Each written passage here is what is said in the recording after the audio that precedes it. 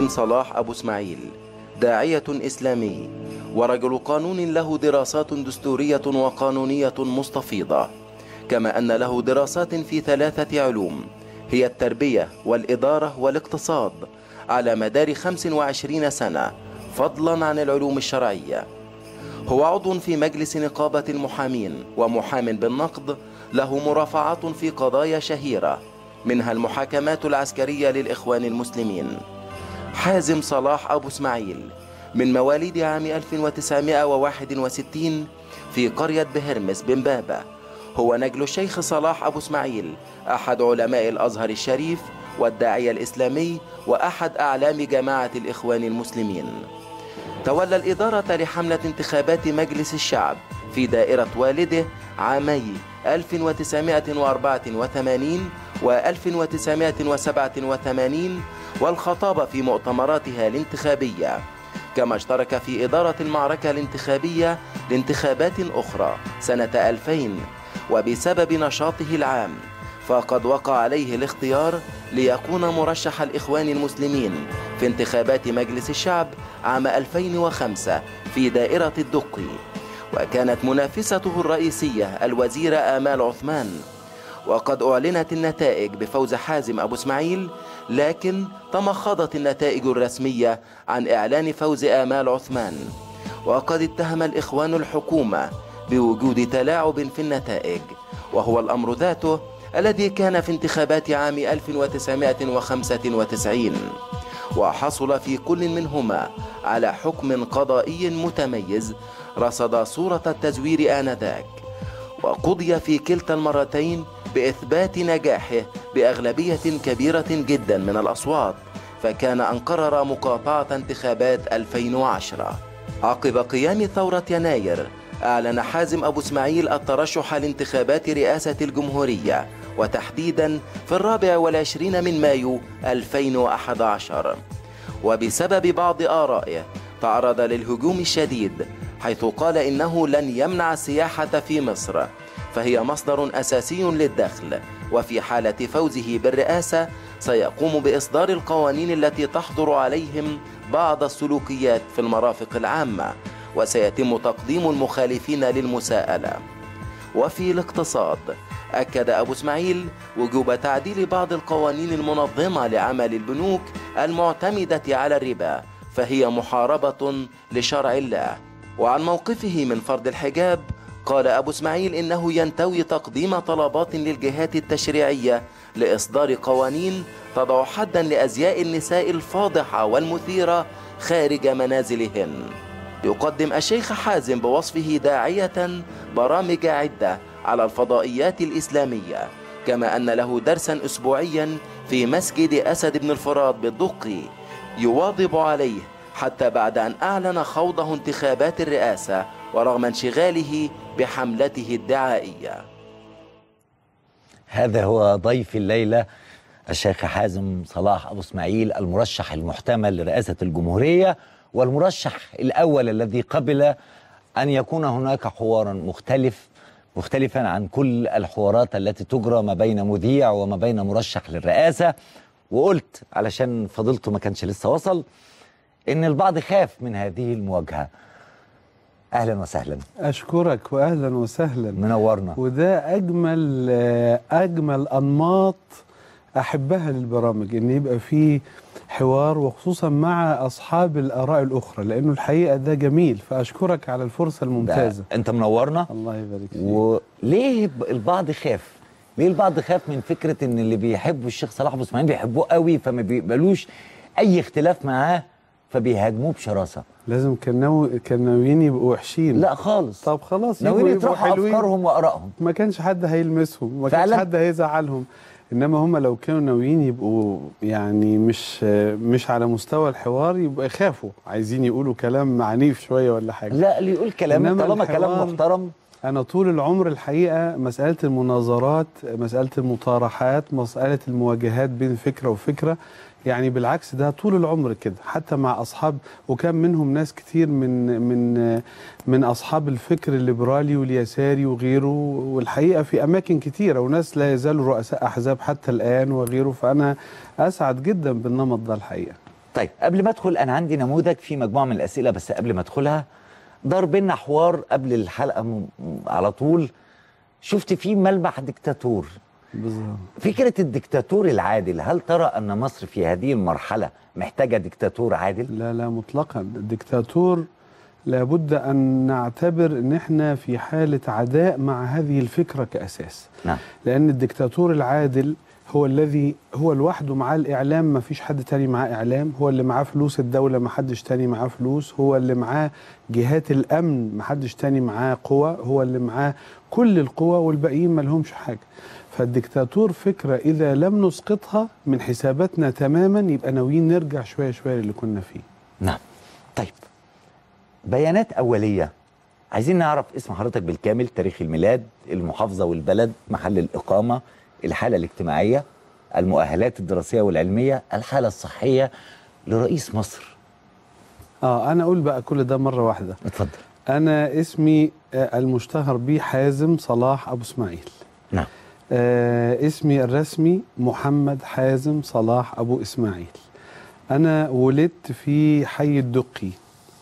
آه يعني في المنطقة اللي هي مجاورة لنادي الصيد حاليا. آه و- وأعيش فيه ولم أخرج منه ابدا. آه كإقامة. لم أعش بره مصر ابدا. وإنما أنا مقيم في مصر أسافر فقط الأسفار الكثيرة اللي بروحها ولكن مقيم في مصر دائما. آه، متزوج من سيدة فاضلة و... وشريك ثقافي أصيل في يومي وعندي ثلاثة من الأبناء. وأعمل منذ تخرجت من الجامعة أو في الجامعة لأنه ده اللفظ الأدق لغويا. رجل قانون صاحب مكتب محاماة في منطقة وسط القاهرة آه، فيه آه، أقسام ثم أضيف إليه مكان آخر لمجرد ال- ال- الاتساع الجغرافي يعني لأنه كان آه، مع الوقت احتاجنا فمش مش مكتب آخر لكن اتساع. فأنا أمارس المحاماة منذ التخرج حتى الآن في المجالات المتعددة ال- وخصوصا المجالات المالية والمدنية والتجارية وما إلى ذلك. أقدار ربنا أنه مع الوقت بقت في قضايا سياسية أمام المحاكم وكان اللي بيترافعوا فيها نفسهم دخلوا السجون. نعم. فاضطرينا أن إحنا فعلا نترافع في عدة قضايا سياسية آه، كبيرة قضايا جنائية لها بعد سياسي وده التوصيف الأدق طبعا. آه، أمام محاكم مدنية ومحاكم عسكرية المحاكم المدنية منها محاكم أمن دولة ومنها محاكم جنائية وما إلى ذلك. آه وهذا أنا. والحمد لله. أما من الناحية الصحية فالحمد لله. يعني أسأل الله أني أكون بفضل الله على ما يرام. الحمد لله. ليس لدى مرشح رئاسة الجمهورية أي أمراض الحمد لله أو أعراض أو تعالج من شيء. هو أنا ما فيش بس أنا عايز أقول لحضرتك أن السؤال ده أنا ما أحبش أنه يسأل لحد بعدي لو سمحت. حاضر. لأنه أنا بعتقده سؤال يعني أنا أجابته هو خلاص. تمام. أنا الحمد لله لا يوجد بفضل الحساسية وجل. اللي في إن أعرف لا غير لائق. لا لا لا لا يسأل واحد تعالى. انت عندك امراض إيه وخصوصا لو كان سنه مثلا يعني لأنه أصل السن أيضا أو الشيخوخه قد يكون لها بطبيعة الحال بعض حاجات لا طب الحقيقة ده بيفرض علي أنا كمنتخب إن لما أعرف إن هذا الرجل مع كل الاحترام له لديه أمراض قد تعوقه عن عمله ده شغل لجنة طبية تعطي له شهادة لياقة صحية ممكن آه. ممكن القانون يقول كده نعم على فكرة أنا بقول ده وأنا مش محتاج لا أنا هو. بسأل حضرتك يعني أنا كمان بالعكس أنا الحمد لله اولا أنا مرشح يقولوا الله إيه؟ عليك الصحة في السن العالمي. يعني رؤساء أمريكا وأوروبا كلهم في نفس حضرتك عمري. مواليد وب... واحد يعني عندي 50 سنة نعم. وبالتالي بقية المرشحين قد يكونوا آه، يعني في نعم. س... فأنا أعتبر بجاوب من منطلق السن المثالي لو حضرتك العالمي بتنتخب رئيس ما هتبقاش حريص إنه يبقى رئيس عافي وقوي وسليم شوف يا أخي الكريم أنا ما تورطنيش بس أنا طيب. عايز أقول لك حاجة. لا أنا أجاوبك برضو يعني بس أنا عايز أقول لك يعني قد يكون في أشياء أقوى أهم من كده. يعني مثلا ال ال الإخلاص المحسوم الآمن. إن أنا أبقى كمواطن مصري وأنا بتفرج على التلفزيون حاسس إن الراجل ده تبعي. طالع من عندي أنا فعلا وأنا اللي منتخب ومنتمي إليه ومش منتمي لحد تاني. ما عندوش علاقات أخرى. افرض بقى إن هو عنده شوية إنفلونزا. نعم. ولا عنده حاجة مشكلة بياخد يعني دي أقل إنما لا شك إنه لو هتكلمني بقى في السن واللي عنده 70 و80 واللي زي برضو كنت من أيام في لقاء كريم وجميل فسألني أخونا اللي بيقدم البرنامج قال لي طب واللي هيبدأ الانتخابات وهو سنه مش عارف 75 هينتهي 80 هل في ال 80 ك...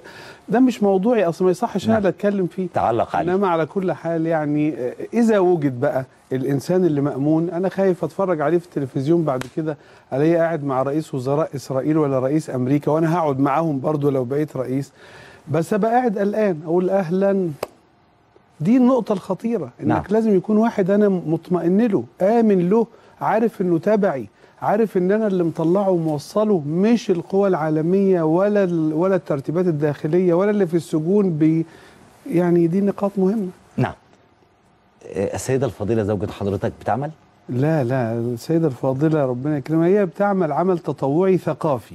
نعم يعني هي في أعمال تطوعية ثقافية مش اجتماعية يعني هي آه، بتقرأ وتدرس وتتكلم وت- كده إنما هي ليست آه، لا تعمل منتقبة أم محجبة؟ ومنتقبه نعم، الحمد لله منتقبة. نعم, نعم فضل. وعند حضرتك أبناء متزوجين؟ لا والله لسه, لسه. صغيرين ولطاف وجمال جدا وعايز أجيبهم معايا المرة الجاية المرة إن الجاية شاء الله. لازم طيب السؤال الثاني آخر مناصب حضرتك توليتها هو طبعا أنا كان عندي مبدأ وهو عدم تولي مناصب.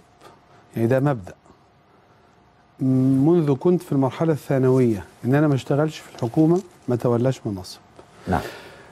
وفعلا كان عندي فكرة إن ما فيش مانع أكون نائب برلماني نائب عن الناس نبض الناس لأن أنا أنا عايش في وسط الناس من كذا زاوية. مثلا الإصلاح في ال- في المجالس العرفية ال- التواجد في المساجد وحل المشكلات الناس الأعمال الاجتماعية المشروعات الخيرية ما إلى ذلك. آه، قررت ما أعملش مطلقا لا في القضاء ولا في النيابة ولا في أي جهة حكومية كائنة ما كانت. وإن أنا أعمل عمل حر. كان السبب إيه؟ إنه مصر وهي عايشة في الحياة الدكتاتورية أنا أخاف إن أنا أتأثر بهذه الدكتاتورية؟ ان أنا ابقى واخد بالي من مديري ومن رئيسي ويقول لي ممنوع كذا وإحنا علينا تعليمات. عايز يعني أجسد معنى الحرية. فالحقيقة تخرجت وبرغم إن أنا كنت من من الأوائل في الكلية وأستطيع إن أنا أدخل وحكاية الواسطة متوفرة وحكاية الحاجات دي إنما في الحقيقة كان قرار واضح وهو العمل بعمل علمي دراسي بحثي أكتسب منه واخترت طبعا المحاماة. إنما مع تطورات الأيام حصل ضغط علي في وقت من الأوقات وتوليت آه، مكان في نقابة المحامين. كنت عضو في مجلس نقابة المحامين وكنت أرأس لجنة الفكر القانوني. والوقت ده هو يمكن الذي أبرز القدرات الإدارية نعم. ليا لأن أنا توليت في وقت كانت ميزانية نقابة المحامين أسيرة ممنوعة. كانت الحكومة بطريقة أو بأخرى مفيش داعي للتفاصيل ما كانش ممكن نستخدم ولا مليم من ميزانية النقابه ومع ذلك تمكنت في فترة بسيطة جدا قد لا تعدو مثلا سنة ونص إني بفضل الله إنه تحدث في نقابة المحامين ست مشروعات لم تحدث مطلقا في تاريخ نقابة المحامين منذ أنشئت في سنة 1912 إلى أن أصبحت عضوا في مجلس النقابة وبدون مليم واحد من ميزانية النقابة. وهذه المشروعات مشروعات يعني الحقيقة أنا أحمد الله سبحانه وتعالى أني تمكنت من من القيام بها ومن إدارتها في هذا الوقت القصير بحيث أنه أصبحت السنة أو سنة ونص دول بالنسبة لي شيء لما أحب أبروزه ألاقيه بلورة رائعة ل ل ل أنا لنفسي على الأقل إن أنا أقول قدر ويمكن ده لأنه كان عندي خبرة في إدارة مشروعات خيرية من ساعة ما كان سني 18 19 سنة باستمرار فيمكن جاء الوقت لهذا في التوقيت ده. فيما عدا ذلك لم أنا وأوباما كده زي بعض. يعني أنا وأوباما حضرتك بتعتبر أمامة نموذج مطلقا. أو طريق ممكن تسير فيه. كمرشح؟ مطلقا. بس أنا عجبني إن هو كان راجل محامي وعنده مكتب محاماة ورشح نفسه في مجلس الشعب آه لا بس بتاعهم. كان عنده تاريخ سياسي. مفيش. آه. قول لي إيه هو؟ مفيش. إزاي؟ مفيش. قول لي. إيه هو ما عندوش تاريخ سياسي. هو الراجل دخل ده ك- ها؟ كان في كان في الحزب ده كادر في الحزب وهم اللي رشحوه وأنا كمان. ما هي اصل التفاعل السياسي ده لم ينقطع عني. نعم. يعني بما في مواجهة بعض رؤساء الجمهوريات بما في آه، مؤتمرات بما في آه، آه، أشياء كثيرة م- من الوقفات والكتابات والنضال وغيره ده لم يتوقف ابدا. والتفاعل داخل احزاب والمشاركة في في وضع برامج لأحزاب برامج لأحزاب كبيرة ولوائح لأحزاب كبيرة مفيش جدا. نموذج تاني أقرب من أوباما شفته في في في كارتر. كارتر. كارتر رئيس أمريكا أمريكي برضو. برضو أنا بضرب أصل ليه بقى؟ انت رحت أمريكا كتير يا شيخ صلاح وحضرت الانتخابات حتت كتير كنت حريص بس أنا عايز. أقول لحضرتك إن لما يوصل درجة الانهيار الداخلي إن إحنا شايفين النماذج دي نبقى زيها يا ما ننفعش فأنا أحب أقول للناس كده إن كارتر كان مزارعا للفول السوداني نعم. كان صاحب مزارع فول سوداني لا لا أصبح عضو كونجرس ولا حاكم ولاية ولا أي وريجن كان. ممثل وريجن وريجن لما تولى آه، رئاسة أو ولاية كاليفورنيا كحاكم ودي ولاية ميزانيتها أكبر من ميزانية مصر ومساحتها زي مساحة مصر ونغنغتها أشد من نغنغة مصر ومع ذلك تولاها وهو طالع من بلاتوهات السينما. فلما تحط ريجن وكارتر وتعرف إن الرئيس إيه؟ الرئيس مش ترقي واحد كان مدير عام وبعدين بقى وكيل وزارة ووزير لا رؤية ثقافة فهم. أنا عارف كويس قوي آخد الناس منين أوصلهم فين؟ والطريق وأنا ماشي هي... ليه؟ لأن أنا قاعد 30 سنة داخل دولاب الدولة. بكل دولاب الدولة وزارة وزارة. وزارة الصحة وزارة التموين وزارة التعليم وزارة كل البنوك البورصة الخارجية الداخلية التراخيص المباني الأحياء المحافظات النيابة القضاء البوليس. وبالتالي الرؤية الثقافة. لذلك أوباما لما دخل الانتخابات دخلها ضد ماكين قالوا مين الولد ده اللي هو ملون وأسود اللي بينافس رمز وطني اللي هو ماكين اللي هو يعني ما فيش منه هنا قائد عسكري دخل في فيتنام ودخل في كذا. ومع ذلك الرؤية النظرة الحلم القدرة على إقناع الناس أنه فاهم هيعمل إيه في البلد لا شك هو وكارتر وريجن وغيرهم وفي غيرهم بس أنا مش فاكر طب. أسمائهم لأنهم قدام شوية قبل ما أنا اتولد طيب لو حضرتك بتقول للشعب المصري أنا مرشحكم وعندي إنجازات لو حضرتك بتعد خمس إنجازات نعدهم إيه اولا أعتذر للشعب المصري اعتذارا بالغا لأنه ضد طبيعتي ضد أخلاقي إني أتكلم عن نفسي يعني احسن معلش بقى نحن مضطرين طبعا بالظبط فأول حاجة لازم يعرفوها إن أنا لما بجاوب عن سؤال زي ده بكون مضطر نعم. وليس عندي سبيل آخر فلما أحب أعد خمس إنجازات هحاول أختصر خمسة ده أنا طيب. عندي كتير لكن زي. بعض يعني فاولا أقول إن أنا الشخص اللي بدأ حياته السياسية من حيث إدراك سياسات الدولة بتفاصيلها بدري جدا. أبكر شخص في المرشحين قطعا يعني. لأنه الحياة السياسية بدأت عندي في سن 14 سنة في بيت والدي عندما كان يأتينا رؤساء الأحزاب ال- ال- العلامات البالغة والبرلمانيين الكبار في تاريخ مصر. تعتبر ده إنجاز ولا خبرة يا فضيله الشيخ؟ ده نبتة ده مش إنجاز ده نبت. نبت إيه؟ آه أنت عايز إنجازات اتعملت نعم. آه آه خلاص أنا بس أكمل بقى الجملة. دي ده نبت الوعي السياسي نعم. انت لما تسمع النهارده فؤاد سراج الدين وبكرة محمود القاضي وبعده ممتاز نصار وبعده خالد محي الدين وبعده وتشعر بانه اليمين واليسار وغيره فتبتدي الصورة تتبلور تبتدي مصادر متنوعة نعم. تبني عليها بقى وانت بتقرأ بعد كده نعم. كل تاريخك 30 40 سنة بعدها بتقرأ على عمق شفت بيناقشوا معاهدة دولية إزاي بيناقشوا الميزانية السنوية للدولة إزاي بيناقشوا قانون إزاي بيناقشوا فدي إنما كإنجازات نقابة المحامين لا أدي واحد حضرتك اتكلمت فيه. أنت مش عايز تفاصيلها. لا خلاص ما خلاص، حضرتك اتكلمت في جزء أنا عايز بس النقاط. بهذه التفاصيل من يريد ومتضمنة يبحث؟ هيقدر. مقدمة مؤلف سنهوري باشا دي مكتوب فيها التفاصيل بتاعت هذه الإنجازات نعم. اللي هو القانون المدني اللي أصدرته نقابة المحامين. الأمر الثاني الحقيقة هو المشروعات الخيرية التي برضو بدأت معي منذ الصغر الباكر عندما كنت في معية والدي وبدأت من أنا مش أقصد أن ده كان في وقت آه، ما أنا طفل صغير هي بدأت نعم. ده وده بدأت ثم استمرت بهذه الصورة فكانت هذه المشروعات الحقيقة خبرة من الناحية الإدارية بالغة لأنها 30 سنة لم تنقطع نعم. بلا شك الشيء الثالث قد يكون هو الأبحاث الدستورية والقانونية المتميزة في مرافعات لدرجة أنه عندي بعض آه، آه، محكمة النقد أصدرت في مرتين عدول عن المبدأ القديم إلى المبدأ الجديد عبر الهيئة العامة للمواد المدنية والتجارية في محكمة النقد بسبب مذكرة طعن أنا الذي قلت فيها هذا الكلام فلا أربعة. شك أن الإنجاز القضائي والمحاكم السياسية وخصوصا بعض القضايا الشهيرة اللي قعدت أترافع فيها عشرة أيام. عشرة أيام مرافعة بلا كلها عبارة عن أبحاث ولم تجد المحكمة فيها تكرارا وإنما وجدت كلها عبارة عن أشياء في الصميم. أقدر أقول أنه آه، رقم أربعة الحالة الثقافية التي آه، يعني قدرني الله سبحانه وتعالى أني أقيمها عبر 12 سنة محاضرة أسبوعية لم تنقطع كان يحضرها. عدد كبير جدا من طلاب الجامعة وعدد كبير من الدبلوماسيين وعدد من القضاة وعدد من الوزراء وبعض من تولى رئيس وزارة في مراحل سابقة. كانوا بيحضروا لأنه في واقع الأمر أن أنا كنت بتكلم حول ما يأتي. كافة مجالات الحياة اقتصادية وسياسية وفكرية ونظم و و و بين الواقع الحياة وبين الشريعة الإسلامية فالإنجاز الثقافي لا شك أنا شخصيا بعتبره أنه هو أكبر شيء لأنه عمل حصيلة أشعر من خلالها أنه أنا فعلا أنا مثلا عندما أنا عندي دراسات أنا أعملها. دراسة عن العقاد مثلا دراسة عن طه حسين دراسة عن زكي نجيب محمود دراسة ليه؟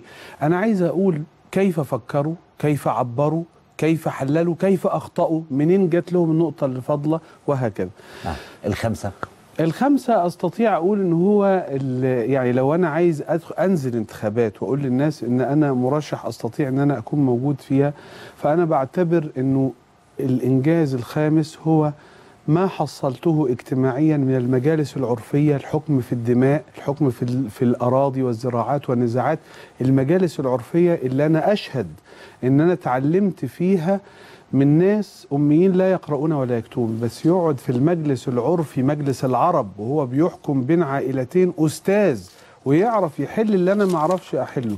فتعلمت إنجاز اجتماعي بالغ. عرفت بيه أعماق الشعب المصري بدءا من أهل سيوة إلى أهل مطروح إلى البدو إلى وادي النطرون إلى ال- الريف إلى الحضر إلى الصعيد الجواني إلى الجبال. فتعلمت ما معنى شعب مصر على حقيقته من خلال هذا الإنجاز الاجتماعي اللي أنا أعتبر أنه هو رأس مال كبير بالنسبة لي على أقل تقدير. مش- حبيت حضرتك إن أنا أقول لك بس أنا مش هقول دي كإنجازات إن حجم المؤتمرات الدولية والداخلية والخارجية والمناظرات ده في الخبرة. ذلك دي مسألة دي خبرة. أخرى. نعم طيب أنا هطالب حضرتك إنك تكلم الشعب المصري في كلمة الناس دايما بتشوف الرئيس ليه طلة وليه لغة وهو بيكلمهم نعم أنا عايز حضرتك مع الكاميرا بتكلم الشعب المصري بتشرح له الوضع الحالي مصر في خطر. فماذا يقول رئيس مصر الشيخ حازم صلاح أبو إسماعيل؟ أقول بسم الله الرحمن الرحيم. الشعب المصري الكريم الواقف على قدميه ولا يركع لغير الله. ما كنت لأتصور في لحظة من اللحظات أنني سأترشح لرئاسة الجمهورية. ولكن حالة الخطر البالغة التي أستشعرها لبلدي وصلت بها إلى درجة الضرورة والاضطرار. البترول المصري سينضب من الأرض طبقا لتقديرات الخبراء من 20 إلى 25 سنة. مصر التي معظم أرضها صحراء لا أقول إنها لا تزرع بل أقول إنه حتى أبحاث الرمال في مصر فرض عليها التخلف مع أن أبحاث الرمال في ألمانيا وصلت بهم إلى أنهم يعملوا عدسات النظارات يكسبوا منها مكاسب لا يحلم الشعب المصري بها في دخله القومي من أبحاث الرمال. الأمر وصل إلى أن حدود مصر داير داير متروكة بدون تنمية عمرانية ولا أبنية ولا كثافة سكانية. الساحل الشمالي قرى سياحية بتتشغل شهرين بس في السنة والساحل الشرقي على البحر الأحمر قرى سياحية ليس ليس فيها تنمية عمرانية سيناء فاضية. الحدود الجنوبية والغربية لتظل بلدكم وبلدي الحبيبة الأثيرة. خالية علشان لو قرر عدوها أن يدخلها في أي وقت تبقى الحكومات اللي فيها هي التي حظرت الإسكان وحظرت التنمية العمرانية. ما لم ندرك وقتنا نعمر حدودنا ونقيم وضع استراتيجي محترم ونستطيع أن نطلق البحث العلمي. الفلاحين يمارس عندهم مشكلات ضخمة في بدءا من الجاز والكيروسين وبدءا من الملح وبدءا من السماد. دي مش حل مشكلة فلاحين دي حل مشكلة صناعة وبحث علمي وتجارة. يعني لابد أن إما أن ندرك وإما أن الدولة على وشك الإفلاس. يا شعب مصر يقولون لنا وأنا اللي بقول كده إن لو حتى المية اللي جاية من نهر النيل فيها مشكلة خزان المية الجوفية في الصحراء الغربية مليان يوكلنا ويزرع الأرض قرن وزيادة من الزمان يزرعها زرع. ومع ذلك الصحراء الغربية بيتسحب منها المية كل يوم بلا توقف. عشان تتعمل في حمامات السباحة اللي على طول مصر اسكندرية الصحراوي وعلى طول الساحل الشمالي استنزاف للمخزون الاستراتيجي اللي يعين هذا الش... اللي يعيش هذا الشعب. ما لم ندرك هذه اللحظة الفارقة وندرك إنه يا إما نلحقها برئيس مخلص منحاز انحياز خالص مفيش احتمال ومش ضعيف مش كلامه وطني. إنسان يعرف يقف مواقف ويعرف يدافع عن الشاب عشان ينقذ الناس. الأب اللي يبص لبنته يجدها في عنوسة أو ابنه في بطالة. إذا ما لحقناش إن إحنا ننقذ البلد دلوقتي ربما لا تأتي هذه اللحظة بعد ذلك ونبقى تحت أقدام عدونا. لذا نستجديهم ونقبل الأقدام. اللحظة دي هي لحظة مرة أخرى نقف على أقدامنا ويفضل هذا الشعب لا يركع لغير الله عز وجل. لا أريد أن أخذ من وقت إخواني هنا أكثر من هذا لكن لعلها كلمات تصيب في الصميم من يريد أن يعرف. وأريد أن أختم بأن السياحة في مصر اللي كلنا ب... كل الناس بيتكلموا عن السياحة وأنا عايز أنمي السياحة وحطيت برنامج يضاعف دخل السياحة 8 أضعاف دخلها الحالي ومع ذلك اسمعوا كده السياحة في أسبانيا اللي قاعدين نضرب بها المثل تساوي تساوي واحد في المية بس من دخل أسبانيا القومي. عشان يبقى تسعة وتسعين في المية جدلا يعني في إيد الشعب الأسباني وواحد في المية في إيد الزوار. إنما إحنا نوصلها ل 10 و11 و12% وقناة السويس وغيره عشان تفضل مصادر دخلنا كلها ما تجيلناش غير عن طريق غيرنا. إما أن ندرك الوطن وننشئ مؤسسة وطنية ورئاسة وطنية وحكم وطني وإما لو فضلنا نقارن ده أطول وده أجمل وده أبعد وده أقرب هنضيع. فأسأل الله عز وجل إنه هذا الجيل يدرك ما يعوض به ما عاش فيه الآباء. والأجداد يا رب العالمين وشكرا جزيلا. شكرا لحضرتك. هنطلع فاصل. بعد الفاصل هستقبل ضيوف الأعزاء في الجزء الأول من الغوص في عقل وبرنامج وتاريخ مرشح محتمل للرئاسة يلقى له شعبية كبيرة على المحك الآن. الشيخ حازم صلاح أبو إسماعيل هستقبل الأستاذ الدكتور أسامة الغزالي حرب الكاتب والمفكر السياسي ومؤسس حزب الجبهة الديمقراطية. الكاتبة الصحفية المعروفة والناشطة السياسية وصاحبة الأفكار المختلفة فريدة الشباشي المهندس هاني توفيق الخبير الاقتصادي الاقتصادي. وهذا هو الجزء الأول من الحلقة. انتظرونا.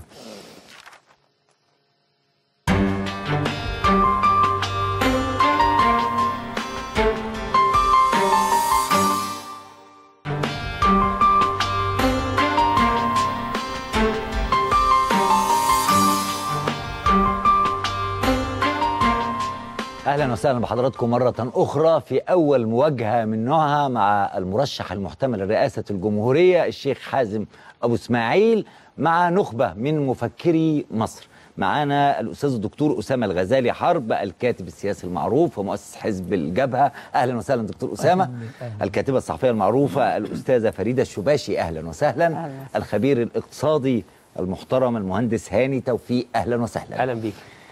ولنبدأ ملفات الدكتور أسامة الغزالي متعددة قد يتفق منها ما يتفق مع مرشحنا الذي ينتمي إلى خلفية إسلامية وقد يختلف في بعض النقاط وده اللي هنعرفه النهارده. ماذا لديك يا دكتور أسامة يمكن أن تطرحه على الشيخ حازم أبو إسماعيل؟ شكرا يا خيري على هذه الاستضافة وعلى فكرة هذا البرنامج في الواقع لأنه أنا أعتقد أن هذا البرنامج وما يشابهه من برامج من شأنها أنها تعرض أمام الرأي العام المصري مرشح الرئاسة. هذا تقليد جزء لا يتجزأ من التقاليد الديمقراطية في العالم. وبالتالي أنا أشكرك على هذه الفكرة شكرا لك يا دكتور. وأرجو أنها تعمم ويرجو أنها تصل بس يقبل المرشحين عشان بيخافوا والله إذا لم يقبل مرشح فهذا يعتبر يعني عيب أو يعتبر شيء يعني يأخذ منه. لأنه إذا لم يكن يواجه الناس في برنامج فكيف سيواجه العالم كله وبلده كلها؟ وبالتالي هذا يعني أنا أشكر آه، الشيخ صلاح أبو إسماعيل على أنه آه، حازم صلاح أنه يعني آه، قبل هذا باعتباره شيء منطقي وشيء مط- مطلوب. وفي الحقيقة أنا أعرف ال- الشيخ حازم صلاح من خلال والده لأن والده كان صديق لوالدي زمان يعني وأعرف والده شخصيا يعني. كنت وأنا طفل صغير كنت أشاهد والده يعني بيزورنا في المنزل. والده بالفعل كان رجل عالم فاضل وله إسهاماته وداعية إسلامي جاب كثير من بلاد العالم وبالتالي عنه الكثير يعني. آه، أنا الحقيقة لما عرفت أن الأخ العزيز حازم صلاح أبو إسماعيل قدم نفسه كمرشح للرئاسة وهذه مبادرة جميل طيبة وهذه يعني إنما أرجو يا شيخ حازم أنك تتقبل فكرة أنه بما أن مصر الآن دخلت في عصر ديمقراطي حقيقي وبما أننا بالفعل نريد هذه المرة وفي هذه الحقبة من تاريخنا أن رئيسنا يكون بالفعل رئيس آه، جدير بمصر. فأنا متصور طبعا أنك سوف ترحب ويكون صدرك يعني متقبل لكل أنواع الأسئلة والانتقادات والملاحظات لأن هذه ألف باء الديمقراطية في الواقع وهذا ما نتعلمه في العالم كله. يعني أنا عندما علم بعض أصدقائي أني جاي هنا في هذا البرنامج فسألوني سؤال يعني بسيط. قالوا لي طيب هو الشيخ حازم صلاح أبو إسماعيل رجل محامي آه يعني معروف يعني له يعني إنجازاته في مجاله. آه إنما إحنا لم نسمع عنه. بأي صفة سياسية ملفتة تجعله يجرؤ ويتقدم لكي يرشح نفسه رئيسا للجمهورية. يعني هو شأنه شأن مئات الألوف من المحامين اللي في سنه واللي في جيله أو الناس اللي بيعملوا في العمل العام بشكل أو بآخر. إنما يعني ما هو أداؤه السياسي ما هو إنجازه السياسي ما هو تاريخه السياسي الذي يسمح له بأنه يأتي ويرشح نفسه رئيسا للجمهورية. يعني أنا لسه دلوقتي كنت بسمع الأخ حازم بي بي بيشبه نفسه بأوباما وقال إن أوباما طلع كده من من غير أي خلفية لأ أوباما راجل اولا راجل حصل يعني متعلم في أرقى جامعات أمريكا في هارفارد راجل كان آه، سياسي حقيقي وكان عضو مجلس الشيوخ وبالتالي هو دخل العملية السياسية منذ بدايتها وله تاريخه السياسي وأمريكا ليست بالبلد الهين اللي فيها السياسي عندما يصعد إلى المستوى الفيدرالي الكبير لابد اولا يمر على مستوى الحزب وعلى مستوى الولاية وهو قد مر بهذه المراحل كلها. وبالتالي فالسؤال البسيط ما الشيء الذي جعلك تفكر في أن تكون رئيسا لمصر؟ ويجعلك متميزا عن ملايين المصريين اللي في سنك وفي ظروفك. يعني ببساطة شديدة. نعم. اتفضل. أشكرك جدا. أولا أنا أشكر هذا البرنامج الدكتور والأستاذ خيري على هذه ال- المقابلة الممتازة. وثانيا أنا الحقيقة سعيد وعايز أقول لحضرتك بالعكس كل ما الأسئلة ما دامت موضوعية لا تتصور إن أنا ده بالعكس اتبسط أكتر ما أتضايقش أبدا. الحاجة الوحيدة هي ودي مش مش متصور في حق حضراتكم اللي هو التجاوز. إنما ما فيش تجاوز خلاص بيبقى حاجة موضوعية رائعة ولائقة وممتازة جدا. أما آه، والد حضرتك عليه رحمة الله ووالدي فأنا يعني فعلا أعرفه منذ كنت صغيرا وكنا يعني في منطقة واحدة فيعني لا أنسى هذه الجلسات الطيبة وأشقاء حضرتك ربنا يحفظكم يا رب العالمين. سيدي اولا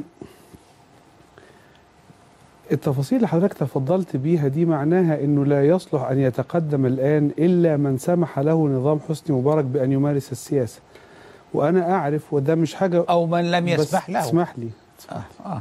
بس أنا عايز أقول إيه؟ إنه ده إنه من سمح له حكم حسني مبارك بأن يمارس السياسة تبقى له تجارب يقدر يكتبها في صفحتين ثلاثة ودي حاجة أنا مش زعلان منها ولا حاجة. حضرتك كنت عضو في لجنة السياسات مع جمال مبارك في دي ممارسة سياسية. فلما تيجي تكتب هتقول إن أنا كنت عضو في لجنة السياسات التي يرأسها جمال مبارك في الحزب الحاكم لمدة كذا. ده قد يكون مؤهل سياسي. أنا ما عنديش هذا المؤهل السياسي لأنه كان في حظر. والدي نفس الحكاية. والدي ظل ممنوعا من الممارسة السياسية لمدة مثلا 20 سنة ثم أتيحت له فأصبح نائبا في البرلمان أربع دورات معارضة. هو الوحيد في بعض هذه الدورات اللي اجتاز التزوير وفي بقيتها كان يجتاز التزوير مع آخرين. وبالتالي الممارسة السياسية مش الممارسة التي يسمح بها الحكم الطاغوتي وإنما الممارسة السياسية قد تكون في الشارع آه بس أوباما بس لي. اسمح لي أكمل أنا ما والدك كملتش والدك كان في الإخوان المسلمين وكان يمارس السياسة ضد مبارك برافو. ضد ضد ضد ضد جمال عبد الناصر ولم يكن له مسموح بالسياسة يعني أنا أشكرك آه. جدا على هذا الاستدراك لأنه ده قاسم مشترك بيني وبين والدي أنا ما دمت حضرتك معترف بهذا الاعتبار فده اعتبار متحقق فيا. إن أنا منذ وقت الجامعة كنت أنا الطالب رقم اتنين في الجامعة في الممارسة السياسية دي لأني كنت نائب المسؤول عن العمل الطلابي في هذا الوقت في الجامعة في الفترة اللي هي كنت فيها طالب في الجامعة قبل أحداث 81 وبالتالي ده مشترك. ما دام حضرتك اعترفت بيه بالنسبة لوالدي فهو متحقق فيا وفعلا تحقق لمدة طويلة. أما أوباما فأوباما بالفعل كان محامي وكان بيمارس العمل السياسي الشعبي بالصورة اللي أنا بقولها دي. وما أصبحش يا دكتور أسامة وحضرتك أعرف مني بكده إحنا المفروض بنتعلم ده من حضرتك. ما أصبحش عضو في مجلس الشيوخ إلا قبل سنة ونص فقط من ترشحه للرئاسة. ومعنى كده وأنا مترشح لمجلس الشعب سنة 95 قبل ترشحي للرئاسة ب 16 سنة ثم قبل آه، 2005 قبل ترشحي للرئاسة بست سنين. إذا الممارسة السياسية وفي المرتين فزت وحضرتك تعلم هذا على الأقل قضائيا يعني كعنوان للحقيقة. إذا أنا قبل الرئاسة ب 16 سنة عندي شهادة بأنني كنت سياسيا وقبلها بست سنين كنت سياسيا. وفي مجلس نقابة المحامين كنت نائبا لرئيس اللجنة السياسية في وده ما قلتوش لكن يعني لأنه كنا بنتكلم عن المشروعات والإنجازات إنما كنت نائبا لرئيس اللجنة السياسية وأنا الذي حضرت المرافعات السياسية جميع المؤتمرات. لو حبينا نجيبه ده على النت خطبي في مؤتمرات السياسية في نقابة المحامين أو الصحفيين أو في المحافظات. إذا لما نيجي نشوف الفارق بين ممارستي في نظام ضدي غير ممارسة شخص في نظام يكفل له. إحنا بالعكس إحنا أصبحنا أشد. ليه؟ لأن إحنا ال ال ال ال الأجسام المضادة للطغيان عشناها من سن صغير. أنا أول مرة مخبر يجري ورانا كان سننا 18 16 سنة. مخبر يجري ورانا لأن إحنا بن- بن- بنقول إن إحنا مش موافقين مثلا على إنه النظام المصري يعمل كذا. في لما في في حتى في أيام معاهدة السلام حتى في استضافة شاه هل إيران اعتقلت حتى يا دكتور فأنا؟ عايز أقول إن الممارسة؟ السياسية هل هل اعتقلت يا شيخ حازم؟ ما هو الاعتقال مش هو المؤشر صح ولا لأ آه. ومع ذلك سبب الحمد لله في عدم الاعتقال إن والدي كان نائبا مرهوب الجانب فكان يخشى إن هم يعملوا حاجة زي كده في الفترة دي صحيح ده تطور فيما بعد لكن إلى أن توفي كان هذا الكلام مرهوب الجانب وبالتالي مش ده المؤشر. يعني مش المؤشر إنه لا يعتبر اشتغل بالسياسة إلا من اعتقل وإنما فلذلك أنا بالفعل قيل هذا الكلام ولا يزال ال- كان ساعتها لا يزال على قيد الحياة مسؤول مباحث أمن الدولة اللي قال له والدي. قال له ابنك لولا إنك نائب كنا اعتقلناه. يضاف إلى كده يا دكتور أسامة حاجة أهم. حضرتك تكون عارفها وموجودة عندنا مسجلة.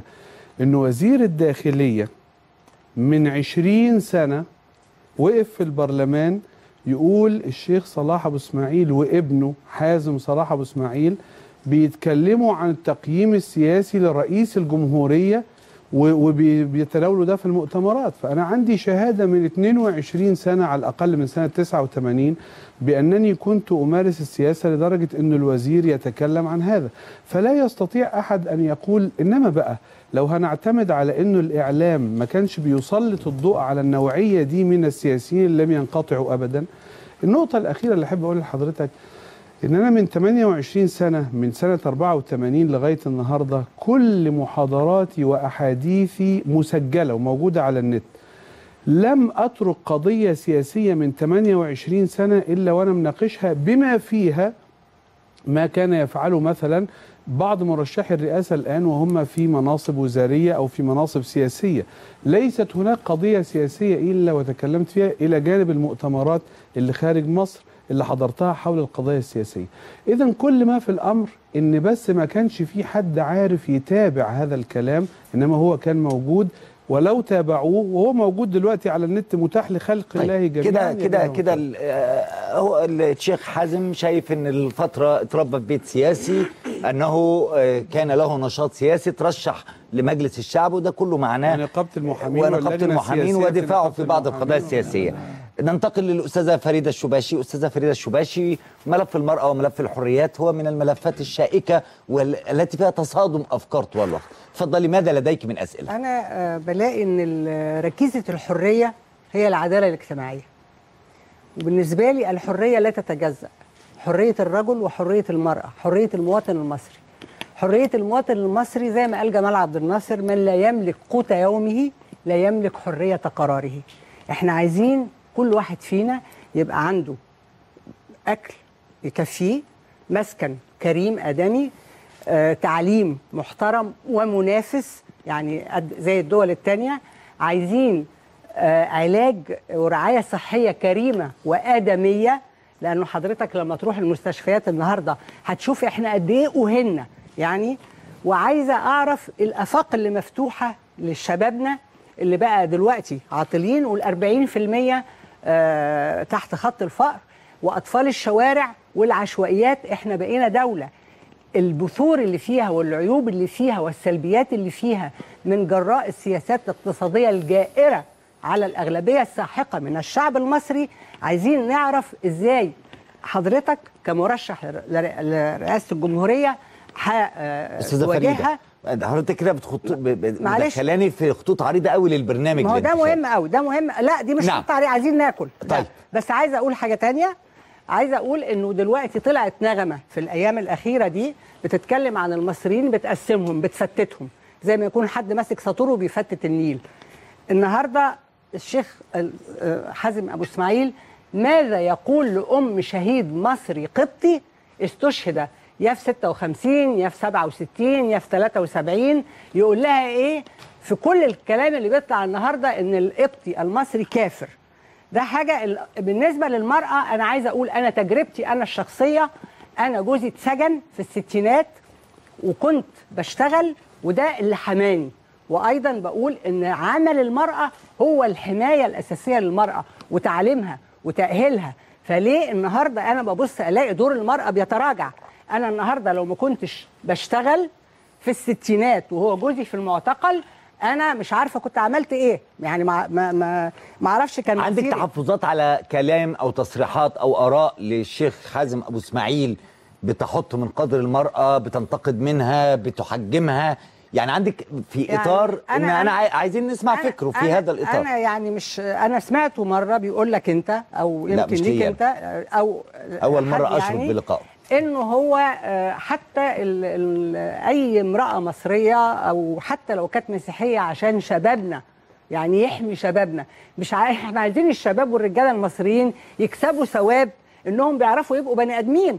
يعني يشوفوا امرأة ما يفكروش فيها يفكر فيها على إنها أمه على إنها أخته على إنها بنته على إنها قيمة. على انها ان أنا حضرتك ممكن بتتكلمي عن ارائه في فكره الالتزام خارج البيت الالتزام في الأزياء. مش اولا في الأ- آه في الأزياء. أيوة. أنا بلاقي إنه آخر حاجة ممكن الواحد يفكر فيها هي الأزياء. فكر لي في الجوهر.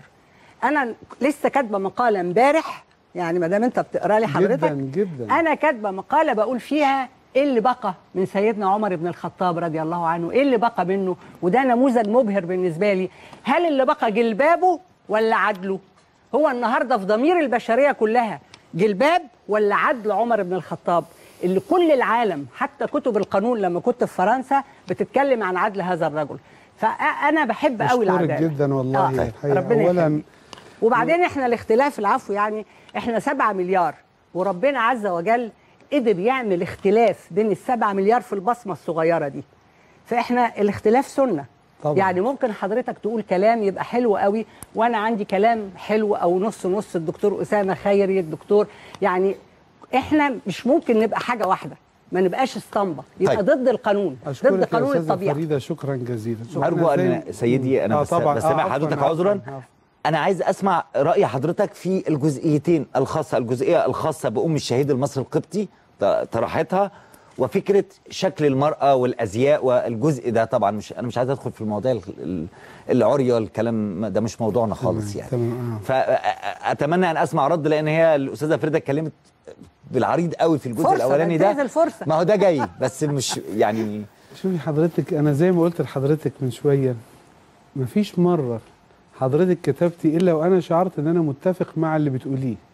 إلا في موضوع واحد وأنا قلت لحضرتك عليه مفيش داعي نفتحه مش وقت الحلقة. لكن الحقيقة نفس الكلام حصل دلوقتي. كل اللي حضرتك قلتيه وجايز ده يكون مفاجأة ليك لأنك ما تعرفينيش بس قبل كده. أنا متفق مع حضرتك فيه بالكامل إلا لو في كلمة أو حاجة هبينها دلوقتي. فليس هناك اختلاف وارجوكي ما تتصوريش إن حضرتك بتقولي كلام غير اللي أنا بقوله. يمكن حضرتك عندك ناحية انطباعية إنك بتقابلي فلان اللي المفروض إن المفترض إنه بيقول كذا. لا أنا بقول اللي حضرتك بتقوليه. حضرتك الحقيقة طرحتي أول قضية رائعة اللي هي قضية البعد الاجتماعي. البعد الاجتماعي للإنسان الفقير الغلبان المسكين عايزين ياكل عايز أنا يا أستاذة طرحت في البرامج ودي متاحة كلها. الكلام اللي حضرتك قلتيه ده وذكرته بالأرقام إن أنا البوصلة بتاعتي وذكرت هذا التعبير هي ميزانية رب الأسرة المصرية وهو قاعد في بيته. بيصرف من وجهة نظري على ثلاث حاجات دلوقتي وثلاث حاجات مستقبلا. الحاجات دلوقتي بيصرف على التعليم على الإيجارات الجديدة بيصرف على اثمان الحاجات اللي بيشتريها أكل وشرب وكلام زي كده.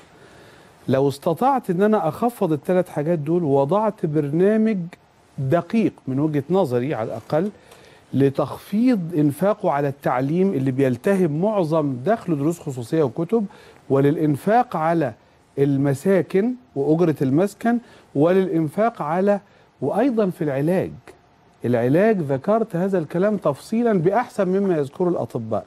طبعا أنا ممكن أتكلم في ده وحتى في مشكلة البطالة وذكرت إزاي مشكلة البطالة ممكن تنتهي رقميا رقميا بمشروعات حقيقية فعلية بتوقيتاتها.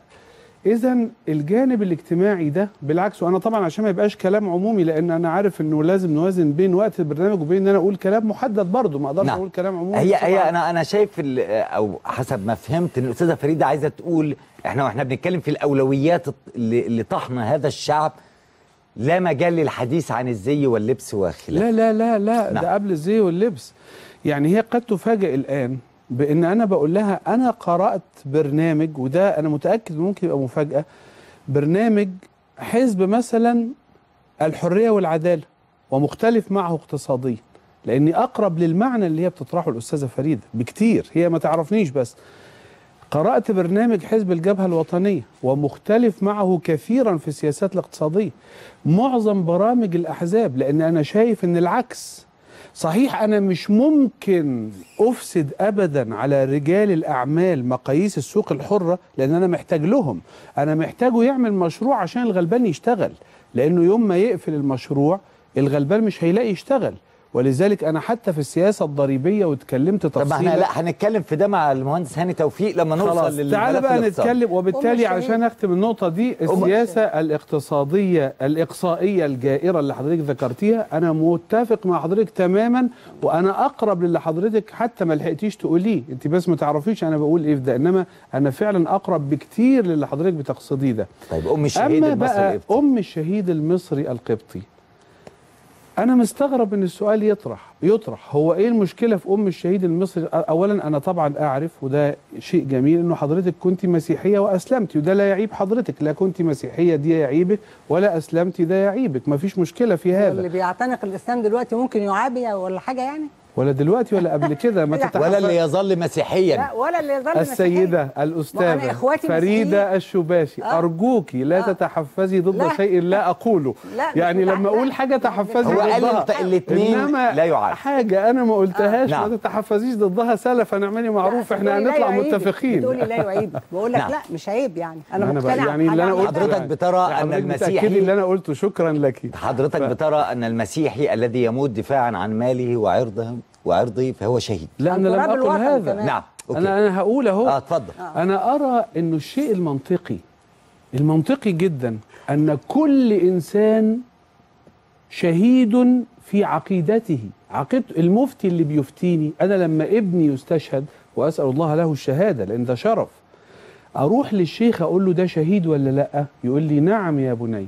لما المسيحي الأم المسكينة لما تمو لما ابنها يقتل في معركة يقتل زي ما ابني قتل في معركة وتروح للقسيس أو لرجل الدين المسيحي بتقول له ده شهيد ولا لا؟ يقول لها أيوة يا ابنتي هو شهيد. أش كلمة شهيد هي فتوى دينية يلجأ فيها كل شخص لصاحب عقيدته. مش مطلوب إن اليهودي يعتبر المسلم شهيد. ولا ان المسيحي يعتبر المسلم شهيد لا أنا بتكلم على الوطن يا سيدي الوطن فهناك أنا بتكلم على الوطن. ما أنا هجاوب حضرتك آه. اذا في شهيد للإسلام شهيد للمسيحية شهيد لليهودية وشهيد للوطن. بالظبط. من حق الوطن أن يكون اختياره إن كل من قتل أن يكون شهيد الوطن. ما فيش مشكلة.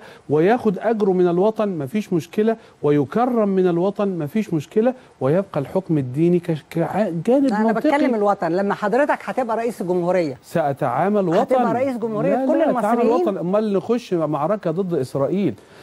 يقتل مسلم اديله نجمه سينا ويقتل مسيحي ما اديهالوش ولا إيه؟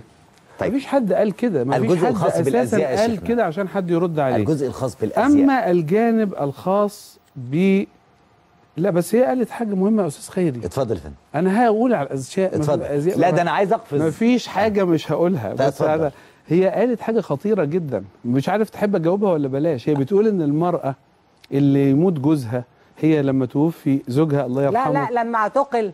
لما اعتقل. زوجها. لو ما كانتش بتشتغل ما كانتش كسبت وبالتالي العمل اتفضل. طبعا طبعا. فأنا متهيألي ده مو- موضوع مهم. يا سيدتي أنا في ما طرحته انتخابيا. كنت في منتهى الوضوح أن المرأة اللي بتضطر علشان هي أم أو زوجة أو أو أو جوزها محتاج لها تكون معاه لابد إنه يحدث لها حكوميا من الرئيس وبرنامج الرئيس وبرنامج الحكومة حاجتين. نمرة واحد إن هي تؤهل برغم إنها في البيت عشان تبقى ماهرة. أنا زوجتي وإن شاء الله حضرتك تشرفينا في البيت ليها عظيم الشرف وتتعرفي بيها. شكرا أنا اتشرف ماهرة ثقافيا ماهرة علميا. تستطيع لو كتبت أشياء إنها تكسب من وراها كويس بتلقي محاضرات في دورات علمية وثقافية. فإذا أهلت المرأة أصبح وهي بترضع ولا بتخلف ولا مع زوجها ده مش وقت ضايع.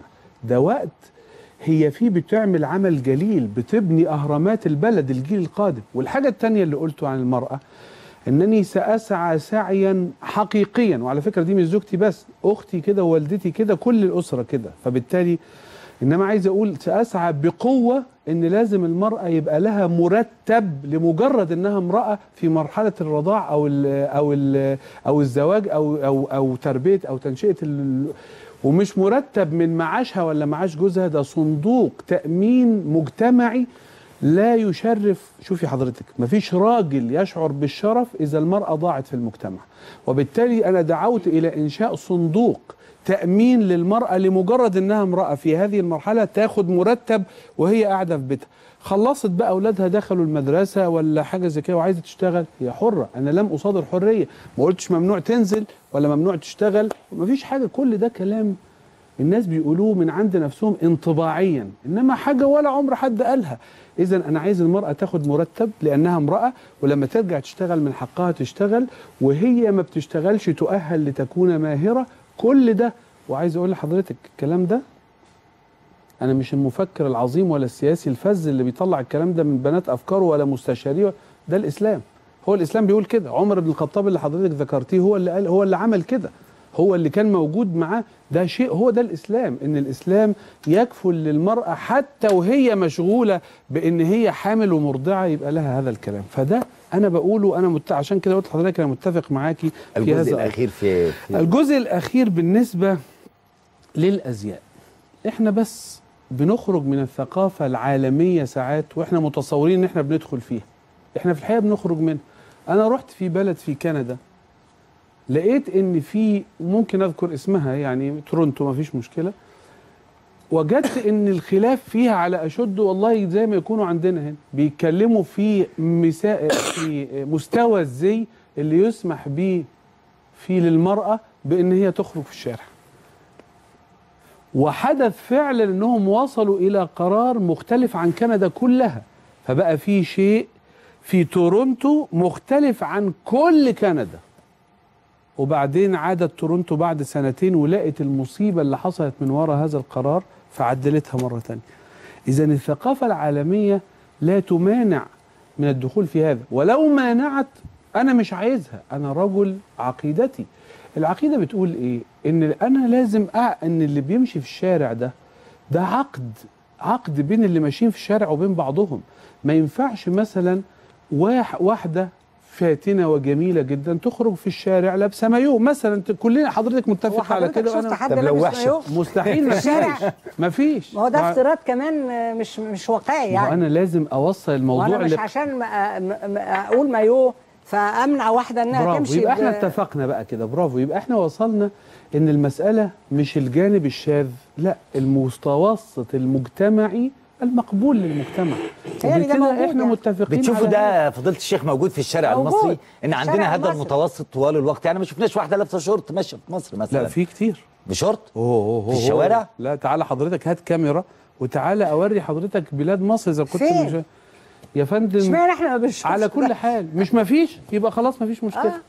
مش ما فيش آه. مفيش فهو. الشاذ في اذا في إحنا الزي. بنتكلم عن إن إحنا لا نقبل المتوسط الشاذ إحنا نعم. عايزين المتوسط المجتمعي وحضرتك اللي بتقوليه هو نفس اللي أنا بقوله متفقين على كده ما فيش حد آه، يعني كده خلاص كده أظن طيب. جاوب ما فيش okay. حاجة بقى الملف الاقتصادي والحديث دائما عن كلمة الاقتصاد الإسلامي في برنامج حضرتك متكررة ولها شرح ولها رؤية آه، آه، باشمهندس هاني توفيق بتشوف انت شايف مرشح إسلامي على خلفية إسلامية عنده رؤية إسلامية بيتكلم عن الشريعة الإسلامية عن الاقتصاد الإسلامي ما الذي يثير الأسئلة أو المخاوف؟ أنا عايز أسأل الأول الشيخ حازم أنت كان في فيلم اسمه تايتانيك حضرتك رحته آه، أظن إن أنا آه، شفته ده كان كذا جزء ده لا كان جزء تايتانيك آه، بتاع السفينة بتغرق. الغارقة. آه تايتانيك. شفته آه طيب ال ال في حاجة بتفكرني بيها الأيام دي وأنا قلتها قبل كده برضو اللي هي الفرقة الموسيقية اللي كانت في تايتانيك كانت عمالة تعزف والمركب بتغرق.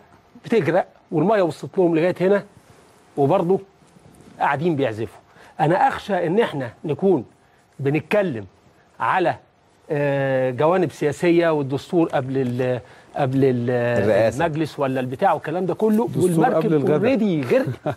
يعني إحنا مش بنغرق. أنا أخشى إن إحنا نكون الوقت عدى كمان للإصلاح.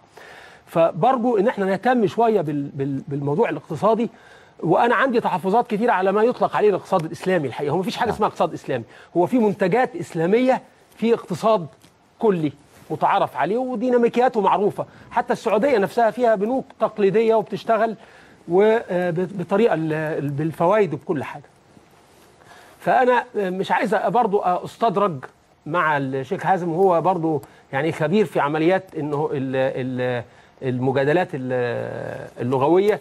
فأنا عايز أخش على آه، أسئلة عشان حضرتك لسه شفت حاجة ده لغوياتي عالية جدا. لا أنا متأكد. أنا, متأكد. مضطر أخفضها بس عشان إحنا بنتكلم في مجتمع أنا- إنما ده أنا هايل آه لا من يعني اللي شفته أنا مطمن مطمن على الجانب اللغوي. طيب. فأنا عايز آه، أسأل حضرتك آه، آه، على خمس موضوعات بالتحديد آه، وعايز كلمتين في كل طب ممكن تخليهم. ثلاثة لا، لا، لا، ونرجع لك. تاني لا أنا عايز. أقول إيه أنا عايز أقول إيه لو حضرتك أنا هحترم جدا ردك لو قلت لي أنا ما أعرفش الموضوع ده وعندي خبراء اقتصاديين هيبقوا معايا أو معايا وهم اللي هيقولوا لي ويبقى نيجي مرة تانية ببرامج واضحة طيب، لأن الكلام في الاقتصاد بالذات ما يستقيمش فيه ال- ال- الموضوعات الإنشائية اتفضل. بالذات وإحنا بنغرق فعلا فالموضوع الأولاني الدعم حضرتك عارف الدعم قد إيه في مصر ما تدعمه الدولة قد إيه الرقم ده حضرتك عارفه؟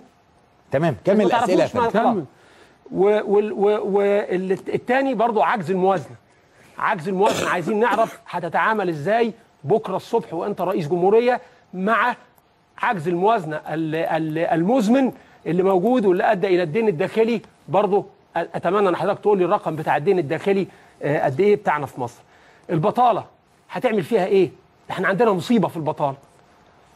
الخصخصة سوق المال والبورصة وما مدى حرمانية البورصة والكلام اللي أنا سمعته من لا بعض بس الناس؟ على الأقل ألحق أكتب سوق المال وايه البورصه سوق المال وال- والبورصة يعني ده آه، الأوراق المالية سوق المال والاسهم والبورصة والخصخصة والبطالة والخصخصة. والدين الداخلي وعجز وعجز الموازنة. ورقم الدعم. ها طيب ماشي ده بس- حاجة هايلة. بس أنا عايز- ممكن نبات سوا الليلة دي يا لا أستاذ والله. الله لا، أنا يخليك. عايز أصدق حضرتك كلمتين في كل حاجة أو أنا ما أعرفش. لا يا فندم تاني. أنا سعيد بيك. قول طيب، ما تهمكش قول بس. اتفضل. هم كده بس. طيب بيتكلم عن الدعم. بس كده أشكرك. حضرتك عارف ميزانية الدعم قد إيه؟ فعارف دي محتاجة هنعمل إيه في جزئية الدعم اللي بتلتهم الميزانية أستاذ دي هاني. توفيق يا فندم. أهلا وسهلا. عالم طبعا أنا عارف ربنا يبارك فيك. أستاذ هاني طيب الأول عايز أقول لحضرتك أنت قلت كلمة برضو أنا متفق مع حضرتك فيها ورائعة. أنت بتقول ما فيش حاجة اسمها اقتصاد إسلامي. وأنا متأكد إن حضرتك وأنت بتقول كده متوقع إن أنا أقول لك لا في حاجة اسمها اقتصاد إسلامي بقى. أنا عارف إن ده موضوع فيه اختلاف واختلاف علمي اقتصادي مقبول. ضخم. وأنا من أصحاب الدراسات الاقتصادية ويسعدني لو حضرتك تقبلني تلميذ في خبرتك يعني أنا ما اتضايقش من كده ابدا. وبالتالي كلمة اقتصاد إسلامي اللي حاصل إن الناس قرأت علماء الاقتصاد الإسلامي اللي سموا نفسهم كده أو سموهم الناس كده قرأوا. الإسلام بيقول واحد اتنين تلاتة بيحط إطار يمين شمال فوق تحت رسم الصورة. وبعد ما قرأوا كده بعض الناس بعد ما طلعت الصورة قالوا ده اسمه اقتصاد إسلامي. الناس قالوا لهم لا هي الصورة كده فعلا وإحنا موافقين بس ده مش ما اسموش اقتصاد إسلامي. فده اختلاف في التسمية. مفيش مانع ومقبول ومش وحش ومش زعلانين. إنما المهم إن ال- الصورة ملامحها تفضل زي ما هي. حضرتك عندك شنب عندك نظاره عندك شعر عندك بدلة عندك كرافته دي الصورة. إنما في الآخر أنا أسميك بقى أنيق أو غير أنيق موضة ولا مش موضة دي تسمية. فأنا مش مش مصمم إن أنا أختلف أو يعني أتناقش حول التسمية. أنا يهمني الجوهر. فبالتالي النقطة دي مش نقطة مطروحة. المهم إن أنا أراعي الحدود والأحكام بصورة واضحة 100% النقطة الثانية اللي حضرتك ذكرتها وأنا بشكرك عليها وأنا في الحقيقة عندي إجابات ولو حضرتك برضو لو سمحت لي وتكرمت علي تكرما ورجعت إلى ندواتي ومؤتمراتي وما إلى ذلك هتلاقي إن الأرقام دي اللي حضرتك سألتني عنها سئلت عنها عشرات المرات وأجبت بيها عشرات المرات وهي محفوظة. ودائما وبعضها كانت في كليات في جامعات أجنبية وبعضها في جامعات داخلية وكده. مش محفوظة دلوقتي لا محفوظة لأن أنا دي متابعتي العادية بقى لها 30 سنة. بس أنا برغم هذا مصمم إن أنا أترك لو سمحت لي الأرقام لحضرتك أنت. مش أنا مش هجاوب على ولا رقم. ليه؟ لأن الأرقام شغلة الخبير. الرئيس شغلته اذا إذا شغلته الرؤية النظرة. إنما هو إذا ما استعنش بحضرتك وبمراكز الأبحاث وبالمتخصصين زي ما حد بيجي يسألني مثلا سعر العملة المصرية. أنت فاكر إن أنا أقول لك سعر العملة المصرية وأنا عارف إنها متوسطات بين إنتاج واستهلاك وتصدير واستيراد وأنا احددها في مفيش غرفة عمليات تشتغل يومية زي بتاعة البنك المركزي. بس في اتجاهات يا فندم ما يعني أنا هتكلم بقى في الاتجاهات دي دلوقتي. أيوه. يعني أنا التفاصيل أنا بس حبيت أقول لحضرتك لا تجعل طبعا أهلا وسهلا يعني بس لا الشخص اللي مش هو الصنايعي أنت ما تسألوش في التفاصيل التفاصيل بتاعت حضرتك وأنا مؤمن بحضرتك إنما أنا صاحب رؤية مش صاحب تفاصيل. فدي نقطة برضو أرجو إنها تكون. النقطة الثالثة اللي أنا لازم أعلق عليها لا إحنا ما بنغرقش. إحنا ما بنغرقش مطلقا. إن شاء الله يا أستاذ هاني وأنا اسمح لي أقول لحضرتك ده ويعني وإن شاء الله نبقى صديقين وهقول لحضرتك تفاصيل أكثر. الاقتصاد المصري وإن كان هيبقى متعب بس اقتصاد سهل مش صعب. عارف ليه؟ وطبعا حضرتك أعرف مني. بس أنا عايز أقول لأن الاقتصاد الصعب هي اللي الدولة الصادقة اشتغلت فيه قوي قوي وعملت حاجات كتير وده أقصى اللي وصلت له. إنما لما يبقى كل مواردي معطلة يبقى مجرد تشغيل مورد معطل يعمل شغل وده اللي هيعمل اقتصاد. الاقتصاد مش صعب الاقتصاد سهل. لأن لما مثلا يبقى عندي مثلا 162 ألف فدان في سيناء صالحين للزراعة بحيث إنه بالمية الموجودة بدون مشروعات ري سابقة يعملوا في سنة واحدة بدون سابق مشروعات ري على حسب مش أنا برضو كل دي مش أرقامي أنا دي أرقام مراكز. البحوث الزراعية لما يكونوا يعملوا اكتفاء ذاتي من العدس والفول ومحصول ثالث تختاره الحكومة المصرية في سنة واحدة. يبقى ما تقوليش إن المسألة صعبة. إنما إحنا بنغرق ليه؟ وكلام حضرتك بقى مظبوط هنا. بنغرق لأن الرأس أنا الدكتور الجنزولي أهلا وسهلا ما فيش مانع بس لما مسك الحكومة ولقيته بيعمل نفس اللي عملته أنظمة سابقة إنه بيعمل حاجات عشان يرضي الناس ي... لا ده ده مش الاقتصاد ولا دي الحكم مع ان هو يفهم أكتر مني في الاقتصاد ده تخصصه. أنا مش تخصصي أنا تخصصي أو دراساتي اللي قال- اللي قالوا عنها في البرنامج اقتصادية بس أنا مش زي الدكتور الجنزوري الجنزوري ده راجل قعد في حكومة حسني مبارك على الأقل وزير تخطيط ثم نائب رئيس وزراء ثم رئيس وزراء ثم ثم ثم وقبل كده كان مدير معهد تخطيط القومي وشغلانة. طيب،. فإحنا ما بنغرقش.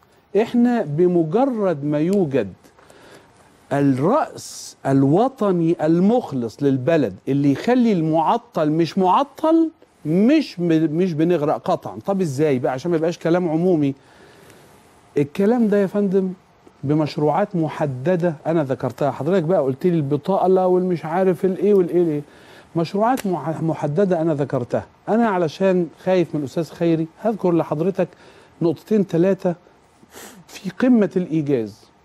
أنا ذكرت وحضرتك برضو مرة تانية أعرف مني بكده مش أنا مش مش مش زيك. أنت أستاذ في الاقتصاد وأنا راجل بتكلم في الاقتصاد زي الصحة زي الزراعة.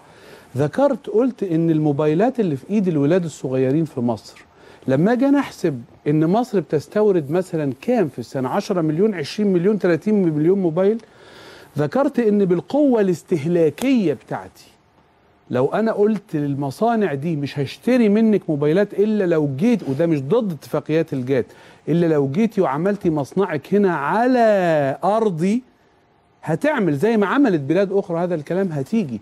ولو جت هنا هن- هطور الصعيد لأن لما أحطه في المنيا ولا في أسيوط ولا في سوهاج وأعمل خط عرضي لمينا على البحر الأحمر تصدر لإفريقيا هصدر أنا لإفريقيا وأقرب للسوق العربي وأقرب لسوق شرق أوروبا كمان ربما وغيره. البلد هيحصل فيها طفرة في التكنولوجيا الصناعية هيحصل فيها تصدير هيحصل فيها محاصرة للبطالة.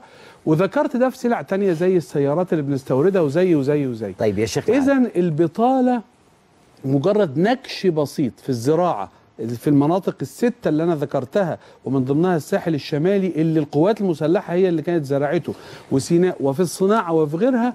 الاقتصاد المصري أنا خايف من لا لا العفو أنا بس أنا أنا هسمع عايز بقى. أحدد كرئيس.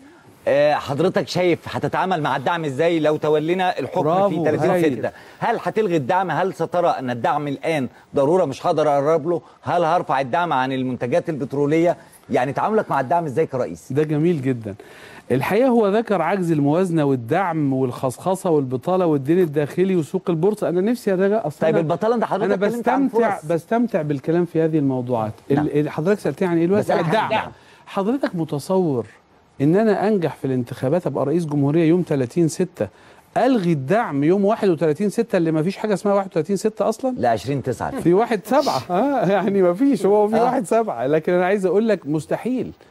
المسألة هو أنا لما أجي أنا يا أستاذ خيري عاصرت الفترة اللي أنور السادات فيها كان بينقل من اقتصاد عبد الناصر لاقتصاد السادات من الاشتراكية إلى الانفتاح من اقتصاد الاشتراكي إلى اقتصاد السوق من اقتصاد الحماية العمالية إلى اقتصاد الضياع العمالي من اقتصاد وهكذا.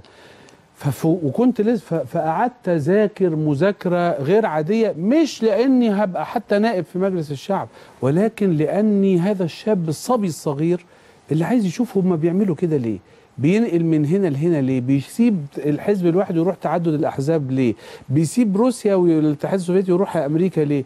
ففترة التحولات مذاكرة وقعدت مع الله يرحمه كذا واحد من ضمنهم ال- الله يرحمه عزيز صدقي كان رئيس وزراء وزير صناعة وسموه أبو الصناعة وغيره. قعدت مع عبد الخالق الشناوي اللي كان في الري وغيره. قعدت كل ده يعني أذاكر إن حضرتك هت فبالتالي في الدعم. بالتالي آه، في الدعم. عندك خطة للاستغناء عن هذا الدعم اللي لا شك إن الدعم هو اللي ضيع الفقراء. ما هو دي بقى النقطة. نعم. إن أنت بتدي الفقير حاجة أنت عارف إنك بتديها للحرامي. أنت أنت فاهم كويس مش حضرتك يعني الحاكم. عارف إنه بيديها للحرامي. هو فاهم كويس جدا إنه بيدي الدعم ده للحرامي أكتر ما يديه الفقير. نعم. إنما هو لو استطاع إنه يجعل الدعم لازم تبتدي المسألة تمشي نحو التحرر شوية. والتحرر أنا لما أخلي رغيف العيش حضرتك بتشتريه بخمسة ساغ لما تيجي تشتريه ب 10 ساغ المفروض بدل ما أديلك لو أنت بتصرف 30 جنيه على الخبز في الشهر ادي خليهم لك 60 لو أنا عرفت أمشي زي ما بشيل دبرياش وأحط بنزين بحيث إن الحاجة توصل للفقير فعلا وهذا ممكن وصول الدعم إلى مستحق. إنما ده مش مستحيل في يوم مستحيل في يومين إنما في الآخر لازم يوصل للفقير. يعني مدة الرئاسة الأولى. اسمح لي أقول الاستاذ هاني حاجة مهمة أو لحضرتك أنت اللي سألت. أنت عارف حضرتك الجماعة اللي بيحطوا أبحاث القمح قالوا إيه؟ قالوا إن 10% من إنتاج القمح 10% من إنتاج القمح المصري بيروح في جني المحصول بيفقد. و10% تانيين بيفقد في النقل و15% بتفقد في التخزين. يعني خمسة وت... يعني تلت محصول القمح بيفقد لحد ما ده يبقى قمح. وبعدين بعد ما يعملوه خبز يوكلوه للبط شوية. وعلى فكرة أنا بعرف حكاية تصغيط البط عشان فيعني فيوكلوه للبط شوية ويوكلوه للمواشي شوية ويوكلوه للبني آدمين. تعرف لو الكلام ده كله استطعنا انت عارف حضرتك التخزين 15% ده مثلا بيروح ليه؟ لأن الشون الشونه اللي بيتشون فيها القمح ترخيصها ما بيشترطش طيب. إنها ما إن العصافير وال أنا مش خايف ادخل. التفاصيل تاخدنا واضح إن عند حضرتك طبعا. قدرة على قراءة التفاصيل أو في في أنا بس برنامجك نفسي اصلي أجاوب إجابة هو يشعر نعم. فيها بالرؤية ان أنا فاهم الدنيا ماشية أنا- إزاي أنا أقصد- نعم. أنا بسمعه أنا بتعلم من كلامهم الناس دول اللي حضرتك جايبهم دول دول ناس كبار ناس ناس طبعا نقعد قدامهم أتعلم وهو بيتكلم أشوف هو بيقول إيه أنت متصور إن أنا قاعد دلوقتي في مناظرة لا أنا بتع... أنا بتعلم من الخبراء دول. بتعلم حتى أنا مش هستعين حضرتك سألتني عن المستشارين مش هستعين بمست... أنا عندي مستشارين. أنا الحملة الانتخابية فيها حتى الآن أكثر من 200 أستاذ جامعي في كافة التخصصات في جامعات مصر غير آه، مراكز الأبحاث. بس أنا يا أستاذي أنا هستعين ب- في دولة لها كوادر مراكز أبحاث مؤسسية. المؤسسة زي زي القطن الطويل التيلة والقطن قصير التيلة يا أستاذ هاني. طيب. لا معلش حاجة أنا حضرتك عارف بس, آخر لا حاجة ده أنا عايز أحددها قوي لأن أنا الجزء ده هياخدنا في تفاصيل. طب اديني أنا عايز العنوان الأوسع. اديني نص حاضر. وهخلص فيها. حاضر. تعلم حضرتك أكتر مني قطعا إن مصر بتنتج القطن طويل التيلة ومصانعها حتى الآن مبنية على تصنيع القطن قصير التيلة لا إحنا طورنا زراعتنا عشان نخلي زراعتنا قطن قصير التيلة عشان نطلع الصناعة فوق ولا إحنا طورنا المصانع وجبنا مكن نخلي تصنيع القطن طويل التيلة هو اللي موجود. فبقت الصناعة ماشية قصير التيلة عشان التصدير وال- والقصير التيلة مضيع الصناعة ومش عارف اعمل توازن بين هو ال- التصدير يجيب لي فلوس أكتر ولا التصنيع.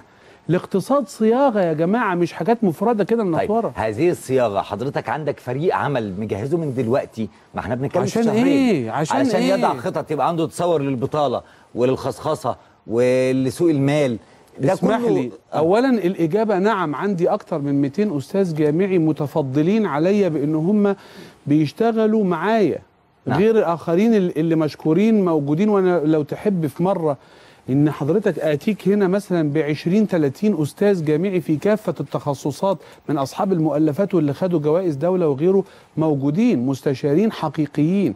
إنما اسمح لي بقى وأنا بجاوبك على السؤال أقول لك أنا مش هو أنا إزاي ألجأ لمستشارية الشخصيين أنا عندي دولة لها كوادر دول كوادر. في مراكز أبحاث لها كوادر. أنا أجيب أستاذ كلية الزراعة اللي هو مستشاري أنا. هو اللي يمسك السياسة الزراعية لأنه صديقي زي ما عاطف صدقي جاب فاروق حسني من فرنسا لأنهم كانوا مع بعض مثلا وكده. واسيب مركز البحوث الزراعية واسيب مركز الطاقة النووية واسيب في مصر هايلة فيها كوادر ما حصلتش.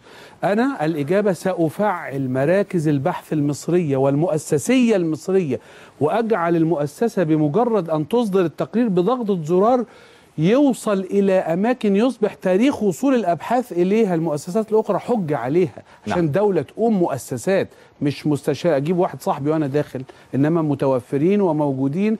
وأنا عبر حضرتك أدعو الإعلام لو سمحتوا يا تلفزيونات مصر ادعوني مرة عشان أجيب لكم 50 60 70 من طيب. المستشارين الدوليين والمحليين. وشكرا هو بس آخر كلمة آخر كلمة من فضلك.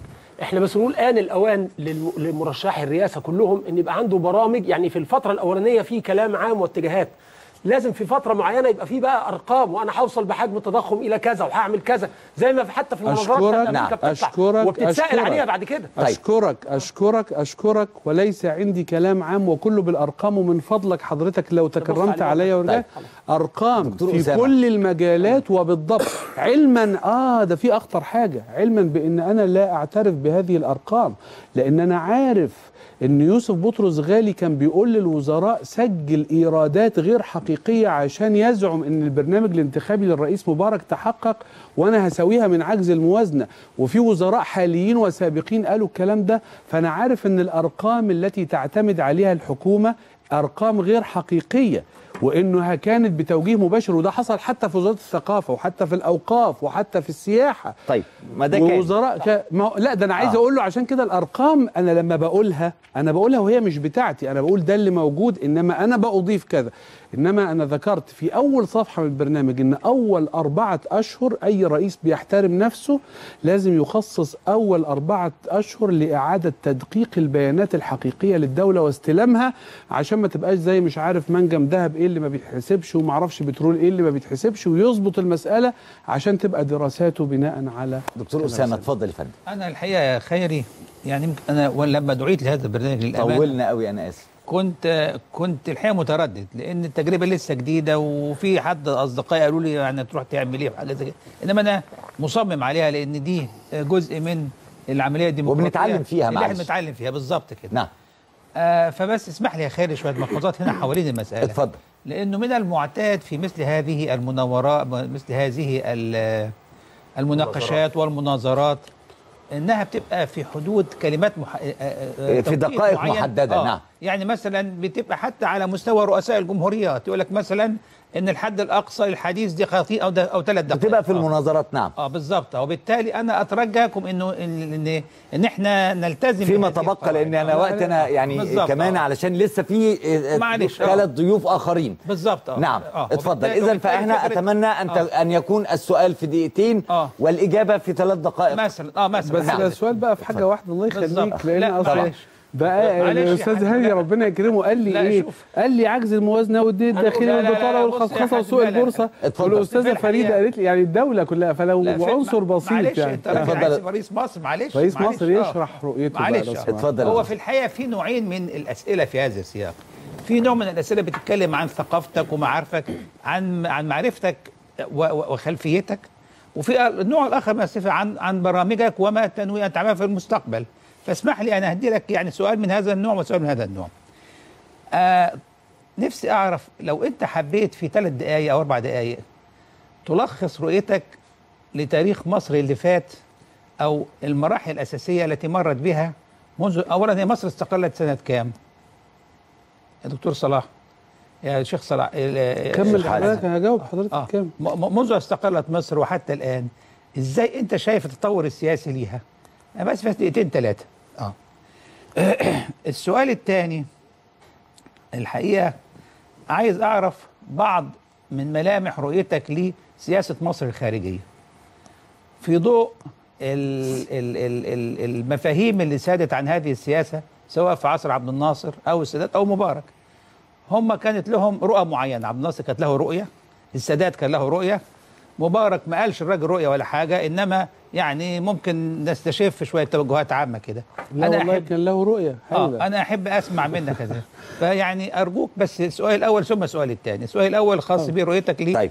التاريخ بس في المعاصر دقائق علشان أنا. كده مش ضيوف الآخرين وقتهم ضيق جدا. آه بس لا أنا طلبت آسف. منك بس إيه؟ هو الموضوع عريض طبعا. إحنا ساعتين. لا لا لا هقيم لا. هقيم تاريخ دقيقتين. مصر في دقائق لا، اتفضلي لا، لا، لا. اتفضلي بقول في دقيقتين بقول في دقيقتين. لا لا مش تقييم لا لا يعني يعني هو مش تاريخ تقييم. مصر في دقيقتين لا لا لا لا لا لا لا والسادات لا ومبارك لا لا والملك لا فاروق لا لا, لا, لا أنا عايز رؤيتك العامه شايفها طيب إزاي أنا هحاول مصر آه هحاول آه. بس طبعا ده مش يعني أنا الحقيقة ولازم حضرتك تقدر لو تكرمت وخصوصا بقى ان اتضح ان في صله بيني وبين حضرتك انه أنا أنا بالعكس أنا اللي عايز اوضح تمام. أكتر يعني تمام. أنا مش بحاول أسيب السؤال ده نفسي أوضح إجابته بصورة على الأقل. أنا رأيي إنه تاريخ مصر الحديث ثم المعاصر. إذا افترضنا إن هو بيبدأ من وقت محمد علي فأنا في اعتقادي أنه كان عبارة عن منظومة من الخدع. محمد علي عمل بذور نهضة. عبال ما جه الخديوي إسماعيل كل المدارس اللي أنشأها محمد علي كانت اتقفلت ما عدا مدرستين.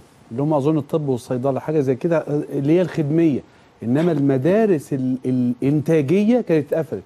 فالخديوي إسماعيل بدأ يعملها من أول وجديد. أما جاء وقت عبد الناصر بدأ يقول مصر خدعونا وقالوا بلد صناعية وعايزين نعمل صناعية. أما مشي في الصناعة وأنا وأنا طفل صغير أتذكر لما قالوا من الإبرة للصاروخ وكنت بنزل نشتري إبرة من الخردواتي نلاقيها مصدية جاهزة. الإبرة بنشتريها مصدية جاهزة من الخردواتي ده إبرة الخياطة ولا الوبور؟ إبرة الخياطة هو بيقول لك من الإبرة للصاروخ نعم. والله الإبرة كنا ال- مصد- شاريها مصدية تمام. إبرة صناعه صنع في مصر فبالتالي أنا ماشي نتكلم عن قها وادفينا والحله والغزل والنسيج والحديد والصلب وأنا أكلم حضرتك عن صناعة صناعة منهم بالتفصيل وحجم النجاح فيها والفشل وكله لكن أنا عايز أقول إن لما جه السادات وبدأت المصانع دي تتقلص ويبتدي مسألة الانفتاح اللي بيشتري فستق وبندق ويعمل كده عشان ال- الديون تأتي. وأنا عارف إن احتلال مصر سنة 1882 كان بسبب إن إنجلترا تعللت بإن الديون زادت والفوائد الربوية على مصر مش قادرة فجات علشان تحتلها لا بس يا شيخ حازم انت أنت عديت فترة مهمة في من تاريخ مصر. يعني صحيح لا عشان لا اقصدش لا لا لا, لا ما اقصدش ما أقصدش. أنت نطيت من خديوي إسماعيل لعبد الناصر. في بينهم إيه كان في إيه؟ طبعا ما هو. ما أنا عشان كده بقول متى استقلت مصر يا شيخ ما أنا هحكي لحضرتك أهو يا آه. فندم والله. يعني أنا بس أنت يعني آه، آه، حضرتك متصور إن الصورة أسرع. أنا عايز أقول إن إذا افترضنا إن معاهدة 36 كانت هي التي بناء عليها وصلوا إلى إنه يدوا لا مصر, مصر ما استغلتش 36 لا. أنا لسه جاوبت حضرتك. ماشي. أنا على طب، فكره آه، أنا عايز أقول لحضرتك حاجة. إحنا بنتكلم الآن هو أنت حضرتك متصور إن إحنا إن إنك بت آه، بتوجه امتحان شفوي؟ لا لا مش شافوا لا لا لا, آه، لا, يعني لا أنا, أرجوك بتكلم بس عن رؤيتك لتاريخ مصر. أرجوك تعود بس لا إلى بس بتكلم ان مصر يعني لم تستقل سنه بالمناقشة. 36 آه ما أنا آه، عارف يعني إنه إحنا بنتكلم الآن إنه إذا إحنا افترضنا إنه الفترة التي أعطيت فيها مصر الاستقلال قبل إنشاء الجامعة العربية سنة 46 علشان أنا بس حبيت أدي حضرتك إن معاهدة 36 التي ألغاها النحاس بعد كده ومسألة ال ال القتال في القناة اللي جاء بعدها. لمجرد إنشاء جامعه الدول العربية من سبع دول علشان يتحولوا إلى إنهم الممثل العربي أنا شايف إن دي خدعة. أنا عشان كده قلت لحضرتك إن ده من ضمن مسلسل الخدع التي مرت بها مصر. فأنا المسألة بالعكس واضحة. ووجود الإنجليز حتى تقلصهم من القاهرة للقناة نفس الكلام. كانت ما هي إلا خدعة. حتى 56 أنا شايف إن مصر احتلت مرتين مرة في 56 ومرة في 73 في 67 فبالتالي أنا عايز أقول إن سواء تاريخ الاقتصاد أنت بتقول لي تقييمك لتاريخ مصر منذ قيل إنها سوف تستقل وبعدين أعطيت الاستقلال لمجرد إنه ينشأ بيها جامعة الدول العربية سنة 48 لا ملهاش شيخ معلش أنا شايف إن بقى لها علاقة. ده رأيي، هو رأي حضرتك جايز يكون حازم لا. معلش. مصر لم تستقل سنة 36 مصر استقلت قبل كده. يا فندم أنا أنت أنت حضرتك مش بت... أنت مش بتسألني الآن أنت عن ترشح نفسك رئيس جمهورية مصر بسألك متى استقلت مصر؟ أنا ما آسف أنا في أنا السؤال. مش هجاوب ما أنا قلت لحضرتك. أنا مش هجاوب أسئلة. أنا بكلم حضرتك عن رؤية لتاريخ مصر. انت أنا بتقول لي رؤيتك. بسيط خالص. انما لو ما هو أنا عشان كده أصبحت مصر دولة مستقلة وعضو في عصبه الأمم. ما هو عشان كده أنا بقول لحضرتك أنا مش هجاوبك. أنا نعم. واضح في هذا. طيب، آه، يعني أنا أنا أرفض إنه مبدأ زي ما الأسئلة وأشكر الأستاذ هاني طبعا إن هو آه، أنا مش في مقام إنه حضرتك بتوجه أسئلة لا، وأنا لا. بجاوب إحنا بن... لأنه ده شيء غير أو أقول لحضرتك ب- انت بوضوح متصدي لم- لمهمة أقول لحضرتك. بوضوح غير لائق وطبعا ما يصحش أصلا إن أنا أقول كده كمان أصلا غير لائق بمناقشة ثقافية إنها تتحول كما لو كانت كده لأن لو حضرتك سألتني وأنا سألتك بهذا القصد إحنا بنحط كتير من المستوى الثقافي لأن إحنا نتكلم بصورة ثقافية بين اتنين بيتكلموا انت بتقول لي اديني رؤيتك لتاريخ مصر بالكامل أنا لما أجي النهارده واقول ان مصر مثلا سنة 1919 كان إيه وسنة 22 حصل إيه اللي حضرتك عايز تعرفها مني دي وسنة 23 كان الدستور ما أنا استطيع ان أنا اعطيك تواريخ انما ليست المساله هكذا لا خلاص إذا اشكرك كنت عايز ماشي. تقييم. طيب إنما- شيخ حازم خلينا نتكلم في جملة عن سياسه مصر الخارجية السياسة الخارجية، حضرتك. عنوانها شايفها إزاي. السياسة الخارجية وده اللي أنا ذكرته أيضا بمنتهى الوضوح وأنا شايف إن جميع العهود المصرية كانت فاشلة في السياسة الخارجية. لأن أنا أرى وذكرت هذا مرارا انه السياسة الخارجية الحقيقية هي إنك تذاكر الدول الأخرى. السياسة الخارجية غير محصورة في أمريكا وإسرائيل وإيران وتركيا والعالم العربي. وإنما أنت بتذ- بتذاكر الدول الأخرى إفريقيا وغيرها علشان تعرف تعمل سياسة اقتصادية سياسة خارجية. ولذلك لما جم يقولوا مثلا إن عهد عبد الناصر السياسة الإفريقية والتحرر وغيره أنا رأيي لأ. لأنه لأن الواقع وطبعا أنا- أنا مش عايز بس ألمس الأستاذة فريدة لأنها بس معلش خلاص أنا هقول كده حضرتك هتفوتيها لأن مش موضوع بتاع النهارده لحظة واحدة بس. يعني ما كانش لينا لحظة واحدة يا؟ ده لسه ما كملتش والله لحظة واحدة لحظة واحدة. طيب بلاش نقلبها نصرية. أنا بس معلش. عايز أقول إيه؟ خلينا موضوعيين عايز إفريقيا. أنا لسه ما قلتش طيب. عشان يبقى موضوعي ولا مش اتفضل يا موضوعي. فاللي حصل إن إحنا النهاردة لما بنيجي نتكلم عن اتفاقية مياه النيل بنلاقيها مشت بنسميها الحقوق التاريخية لأن المعاهدة اتعملت ما بين الاستعمار الإيطالي والاستعمار الإنجليزي. فكون إن كان في بعد إفريقي لمصر في إفريقيا لم يترجم إلى وجود معاهدة حقيقية تكفل لي حق قانوني في في مياه النيل وبتقول لا والله ده أنا بدل إنجلترا اللي كانت موجودة. وبالتالي السياسة الخارجية في رأيي مسألة موازين قوة مش موضوع إن إحنا نشوف زي مسألة العلاقة بأمريكا وإلغاء المعونة. إلغاء المعونة مش قضية مصرية بقدر ما هي قضية أمريكية. أمريكا نفسها عندها كده. وبالتالي أنا رؤيتي للسياسة الخارجية أنها تقوم على أساس ميزان المصالح اللي بيحسب بال... وخصوصا بالحكمة بالحكمة. الحكمة البالغة لأن إحنا ما عندناش عنترية ما أقدرش أدي قرار عنتري دلوقتي يجيب على مصر حرب. يضاف إلى ذلك وده الأهم إن مثلا لما بيجي يكلمني عن محور إيران تركيا مصر أقول له ليه وفين العرب؟ يعني أنت ليه مكلمني عن محور مصر وإيران علما بإنه وأنا م- رافض مبدأ إن تفضل بقى في قطيعة دائمة بين مصر وبين أي دولة كائنة ما كانت؟ ما ينفعش ما ينفعش ده يبقى مبدأ. إنما تعلم حضرتك إنه في اللحظة اللي أنا هقرب فيها سنتيمتر واحد مكالمة تليفون واحدة من إيران تحدث مشكلة مع دول الخليج والدول العربية. فما لم أكن الشخص الحكيم الفاهم المقدر اللي يعرف يأمن ظهره مع العرب ويبقوا عارفين إن البعد والعمق العربي مهم بالنسبة لنا تصبح الخطوة دي في ومع إسرائيل في إطار ومع. إسرائيل نفس المسألة. إسرائيل أنا بالنسبة لها أهم بكتير.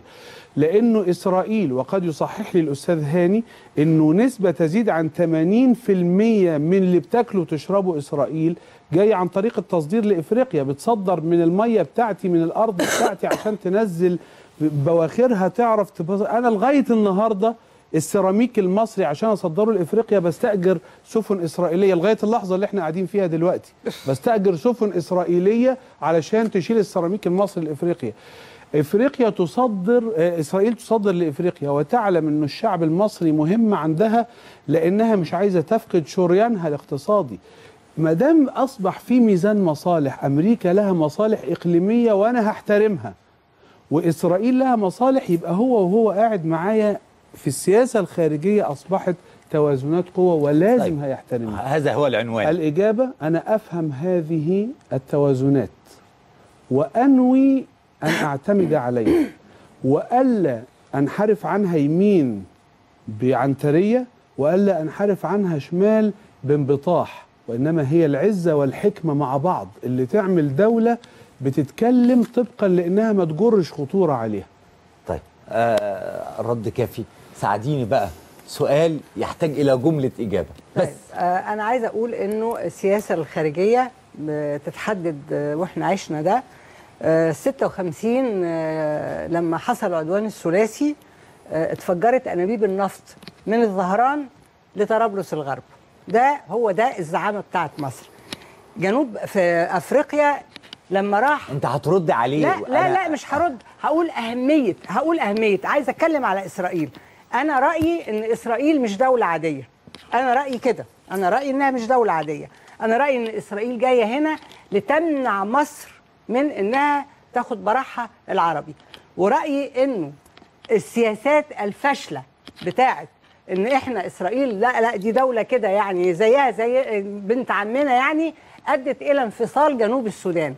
إنما إحنا في أفريقيا دي أفريقيا عمقنا الحقيقي وده كان متواجد ولا يجوز إن إحنا ننكره. إحنا لغاية النهارده الفريق سعد الدين الشاذلي كان طالع مرة في الجزيرة وقال إنه لما راح الكونجو الناس طلعت له بالعلم المصري في الكونجو.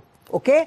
حاجة تانية عايزه أقول إن إحنا عايزين ننتج عايزين ننتج. أنا شخصيا مع مش عارفة حكاية الإبرة المصدية بس أنا رحت فرنسا سنة 73 كان كل اللي معايا وكل المنتجات الجلدية والملابس وكله كله والحاجات اللي كانت في بيتي كانت إنتاج مصري. إحنا عايزين صنع في مصر. كده. طيب. إحنا عايزين صنع في مصر. طيب. خلاص. خلاص, أنا هعتبر تعليقك. أنا أنا خلاص أنا لا بس لا لا لا لا بس عمق إفريقيا أنا أنا خلاص مش هجاوبها نعم. الا إلا في حاجة بسيطة. أنا فاهم الموضوع. يا أستاذة إحنا مش مختلفين للمرة الثانية حضرتك بتتكلمي عن عمق إفريقي كان موجود وأنا معترف بيه إن الأفارقة بيحبوا مصر عشان حركات التحرر أنا بتكلم بقى كان عن المرحلة اللي بعد كده إن أنا أستغل ده في إن أنا أعمل إيه. بس. هم حد هم ما عملوش. ما هو بالظبط ماشي خلاص فإحنا مش يعني. مختلفين. إنما أنا شايف إنه لا إحنا ملناش عمق في طيب دلوقتي. أنا بشكركم جدا. البرنامج الاقتصادي بس يبعته لنا بعد إذنك. آه، طبعا. لا لا هو حاجة مكتوبة عشان حضرتك مش بس عشان نقراه عشان نقدر نحاسبك عليه إذا ما ربنا وفقك وكملت. ده اللي هيبقى المحاسبة بتاعتنا بفكر بيننا أخلي وبين حضرتك وزير معايا عشان ما تحاسبنيش أنا اللي حاسبك بشكركم جدا. بنتعلم من التجربة. هتتحدد بأوقات أكتر. شفت قال له إيه؟ هاخدك وزير عشان ما تحاسبنيش. شفت بقى؟ بدايه كويسة ده رئيس خطير ده رئيس خطر ده. ده رئيس خطر. أنا كنت لسه بقول للأستاذ خالد جدا. بعد الفاصل اواصل مع الشيخ حازم أبو إسماعيل. هينضم إلي الأستاذة مارجريت عازر عضو مجلس الشعب عن حزب الوفد. المخرج والمؤلف والمبدع محمد دياب الأستاذ عبد المجيد الخولي رئيس اتحاد الفلاحين المصريين. بشكركم نلتقي بعد الفاصل.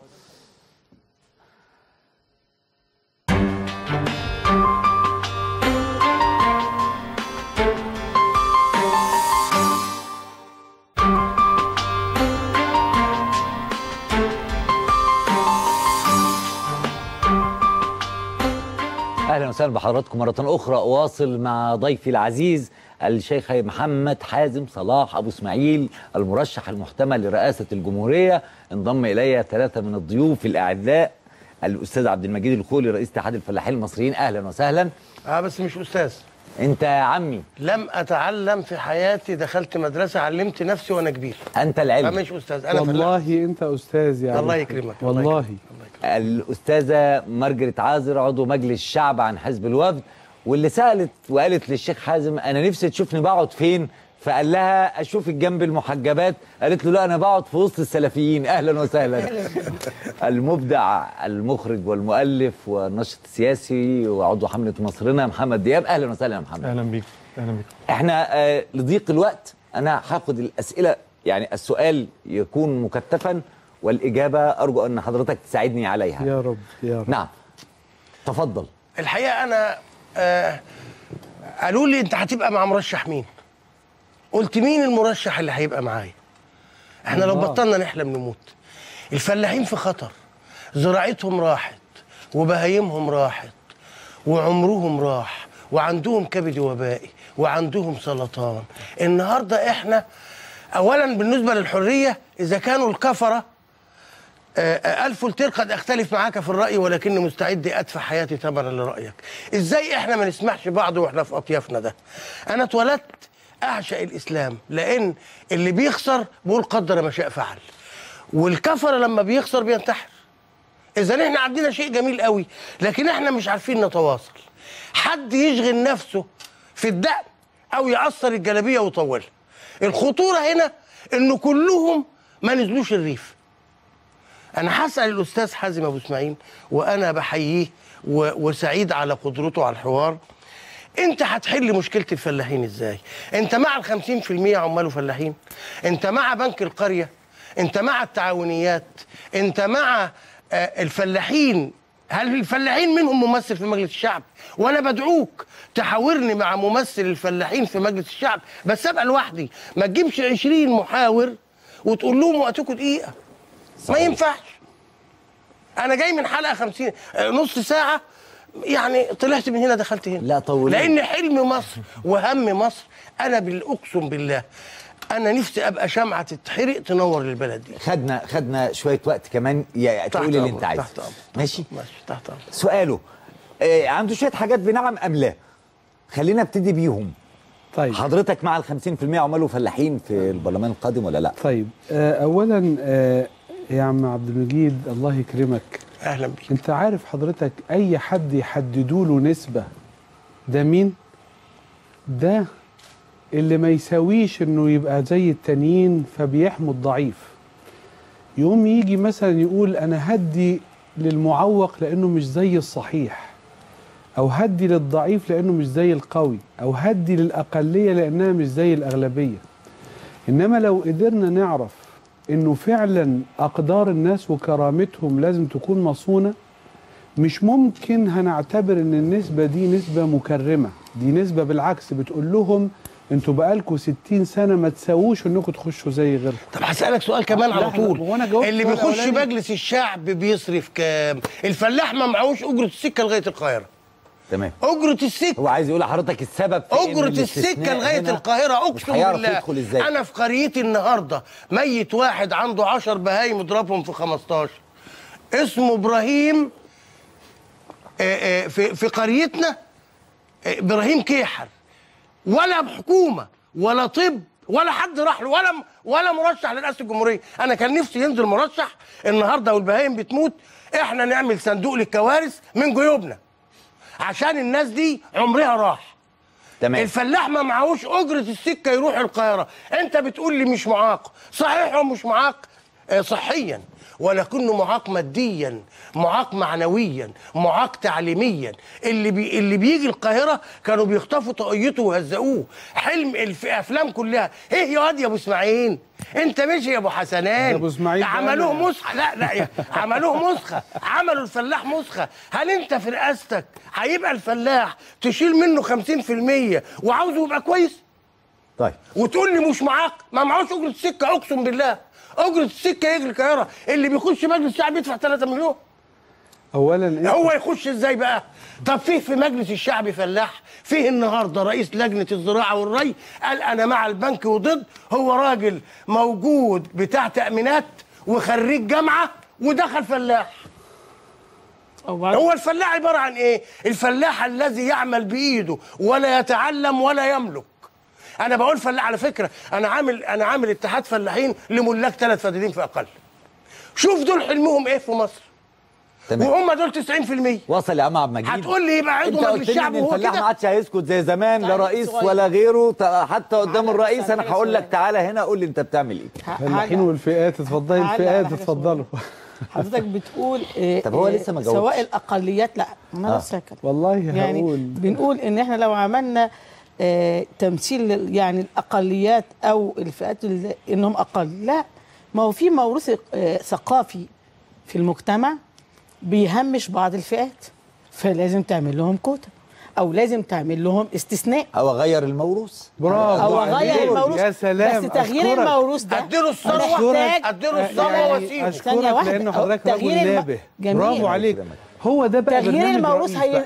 لا هو ده الفرق تغيير الموروث هياخد وقت للرئيس. طويل طب نعمل إيه وإحنا ماشيين بالتوازي يا أستاذة مرجل بيبقى أوكي. راسخ عند المجتمع شوفي حضرتك هو ده بقى جميل. الفكرة اللامعه حضرتك عشان تغير الم... منتخب. عشان أدخل تغير؟ الموروث آه دي فكرة لا، لا، ما عشان تغير ده هينافسني لا عشان تغير الموروث ده طيب. يبقى لازم تدي نماذج حسنة للمجتمع مش هتغيره ب... مش هتغيره بالفكر إلا بعد فترات طويلة طيب برافو، أنا- اتفضل يا فندم اولا يا عم عبد المجيد أنت كل ما هتقاطعني هوافق لا ده أنا تحت أمرك أنت بالذات. كل ما تتكلم الفلاحين أنا ما هسكت. اتكلموش خالص فيعني حاسس وأنت أسمع. رحت حلقة وما خلوكش اتكلمت كتير فأنا مستعد أعوضك لا لا الله يكرمك الله. يكرمك الله أنا ليك بس حرية أنت لو. لو يعني تكرما خلتني أجاوبك هكون شاكر جدا تحت يعني. أمرك، تحت شوف يا سيدي أنا زي ما الأستاذ الحقيقة وده أنا بشكرك جدا لأن ده تألق ذهني. الرئيس مش شغلته إن هو يخلي الضعيف ضعيف زي ما هو وغلبان زي ما هو وما عندوش أجرة القطر زي ما هو ومع والتاني بيصرف 3 مليون زي ما هو. ما يبقاش رئيس ده. الرئيس شغلته إنه يغير التفاصيل اللي حضرتك بتقولها دي لأن أنا أنا أنا فلاح أنا من قرية. هو أنت حضرتك أنا من بهرمس مركز امبابة جيزة. ولا لكنك عايش في أرقى أماكن في القاهرة؟ يا فندم ده سكني لكن أنا لازل لازلت قريتي إيدي طالعة من الغيط ولا يزال عندنا أرضنا وكل حاجة. أنا ما أقدرش أقول وحيد لأني مش عارف بس أنا لازلت وإذا رحت كذا مكان ممكن بعد اللقاء أقول لك فين وفين وفين. وأقاربي من عائلتي في نقابة الفلاحين واتحاد الفلاحين سواء ده أو ده. أنا عارف إن ده لوحده وده لوحده. موجودين. فأنت ما تتصورش إن أنا واحد يعني أنا آه، إحنا لا يزال عائلتي ساكنة هناك ولنا أرضنا طيب. وحياتنا هناك. هتعمل إيه سيادتك فبالتالي كلمة ما نزلش الريف أنا ما طلعتش من الريف. وأنا ولا يزال اصل إحنا بلدنا قريبة. فالمسألة يعني أنت مش متخيل. بس تعالى معايا النهارده أنا عازمك على العشاء هناك. الله يكرمك. خلاص إن شاء بس الله. هو برضه بس يعني التدخل معلش اسمح لي. هو قصده إنك رئيس الجمهورية ي- يشوف الناس يشوف البلاد اللي عندهم مصايب أكتر من ان لأن دي بلدك في الفلاحين ما هو أنا ب... أنا بضرب له مثل أنا أيوة. ذكرت لحضرتك في مقدمة البرنامج الأماكن اللي أنا لفتها في نعم. الجمهورية نعم. يعني أنت مثلا عارف المعزة بتولد على قد إيه؟ ولا البط بيتزغط لا إزاي المعزة المعزة بتولد على قد إيه عارف؟ هو طب البقرة بتولد على قد إيه؟ طب هو ده هيفرق في إيه؟ في رئيس الجمهورية في البقرة هتولد يعني قد ما إيه؟ هو بقول أنا من قرية. آه ما هو أنا أنا من أنا من. الفلاحين بس ما أعرفش. إحنا عندنا كل حاجة بتولد على مدة. الحمار بيولد على كام؟ الجحشة الجاموسة المعزة. اللي من القرية يعرف الحاجات دي. طيب. وأسأل قرايبي ونشوف يعني احييه لو ما كانش من القرية بس من القرية وما يعرفش الحاجات دي مش ما كانش فلاح. لحظة واحدة بس. ده إحنا هنتخانق. انت حضرتك مش مصدق لا، لا، خالص، إيه؟ خالص. مش مصدقني. أنا عندي سلفي في القرية أرشحه رئيس جمهورية.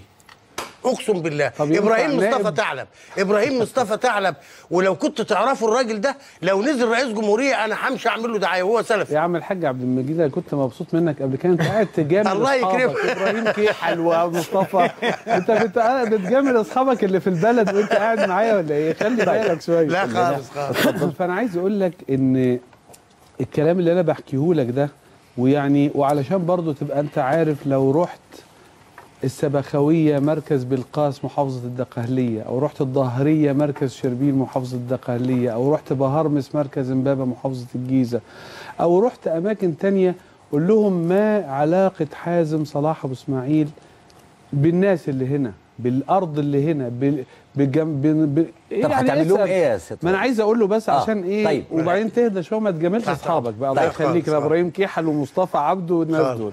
طيب هتعمل لهم تعالى إيه بقى شوف أنا بالنسبة لمشكلة الريف هو يتصور في حدود أدائه هو بيتكلم عن اللي حواليه أنا قلت إيه وطبعا أنا مش هقدر أقول له لأنه بيقول أنا عمري ما اتعلمت مش هقدر أقول له روح شوف اللي- إنما أنا ذكرت ثلاث أربع نقاط لما هقولهم دلوقتي أنا أعلم إن هم بالنسبة له يعتبر هيتبسط منهم لأن هم شريان الحياة. اولا أنا ذكرت إن المصريين في الخارج فيهم ناس يعني مش مالتي مليونير أكتر من كده بكتير مبالغ ضخمة جدا ونفسهم يخدموا مصر ومش عارفين يخدموها إزاي. فبيجي واحد يبني بيته هنا هنا جامع هنا مصنع يعمل حاجة زي كده. فذكرت أنني سوف أعيد شعار الأرض لمن يزرعها. ولكن مش هأعيده بالطريقة اللي اتعملت قبل كده وعملت ضغائن بين أهل البلد الواحدة وهو يعرف إن أهل البلد فيها من كان يملك ومن كان يستأجر وإن الضغائن موجودة. لا قلت إن المبالغ لو عرفت أجيب كل عشرين مليونير أو مو- مالتي مليونير أو ملياردير مصري من اللي بره اللي بنشوفهم عندهم ميناء كاملة بسفنها وبواخرها يملكها. كل عشرة كل عشرين أسميهم رعاة لقرية. مش محتاج من من من المليونيرات المصريين بره إلا مثلا مئة ألف خمسين ألف واحد. كل عشرة منهم رعاة لقرية واحدة. هم مسؤولين عن القرية دي. مش مسؤولين عنها يدوا لها صدقات. مش مسؤولين عنها ي... يعملوا لا يعملوا إيه؟ هأنشئ بنك القرية مش بالطريقة اللي يعرفها عم الحاج عبد المجيد. لا. بنك القرية بمعنى اللي هو إنه يشتري الأراضي الزراعية اللي اتفتتت وهو عارف إلى القيراط وال...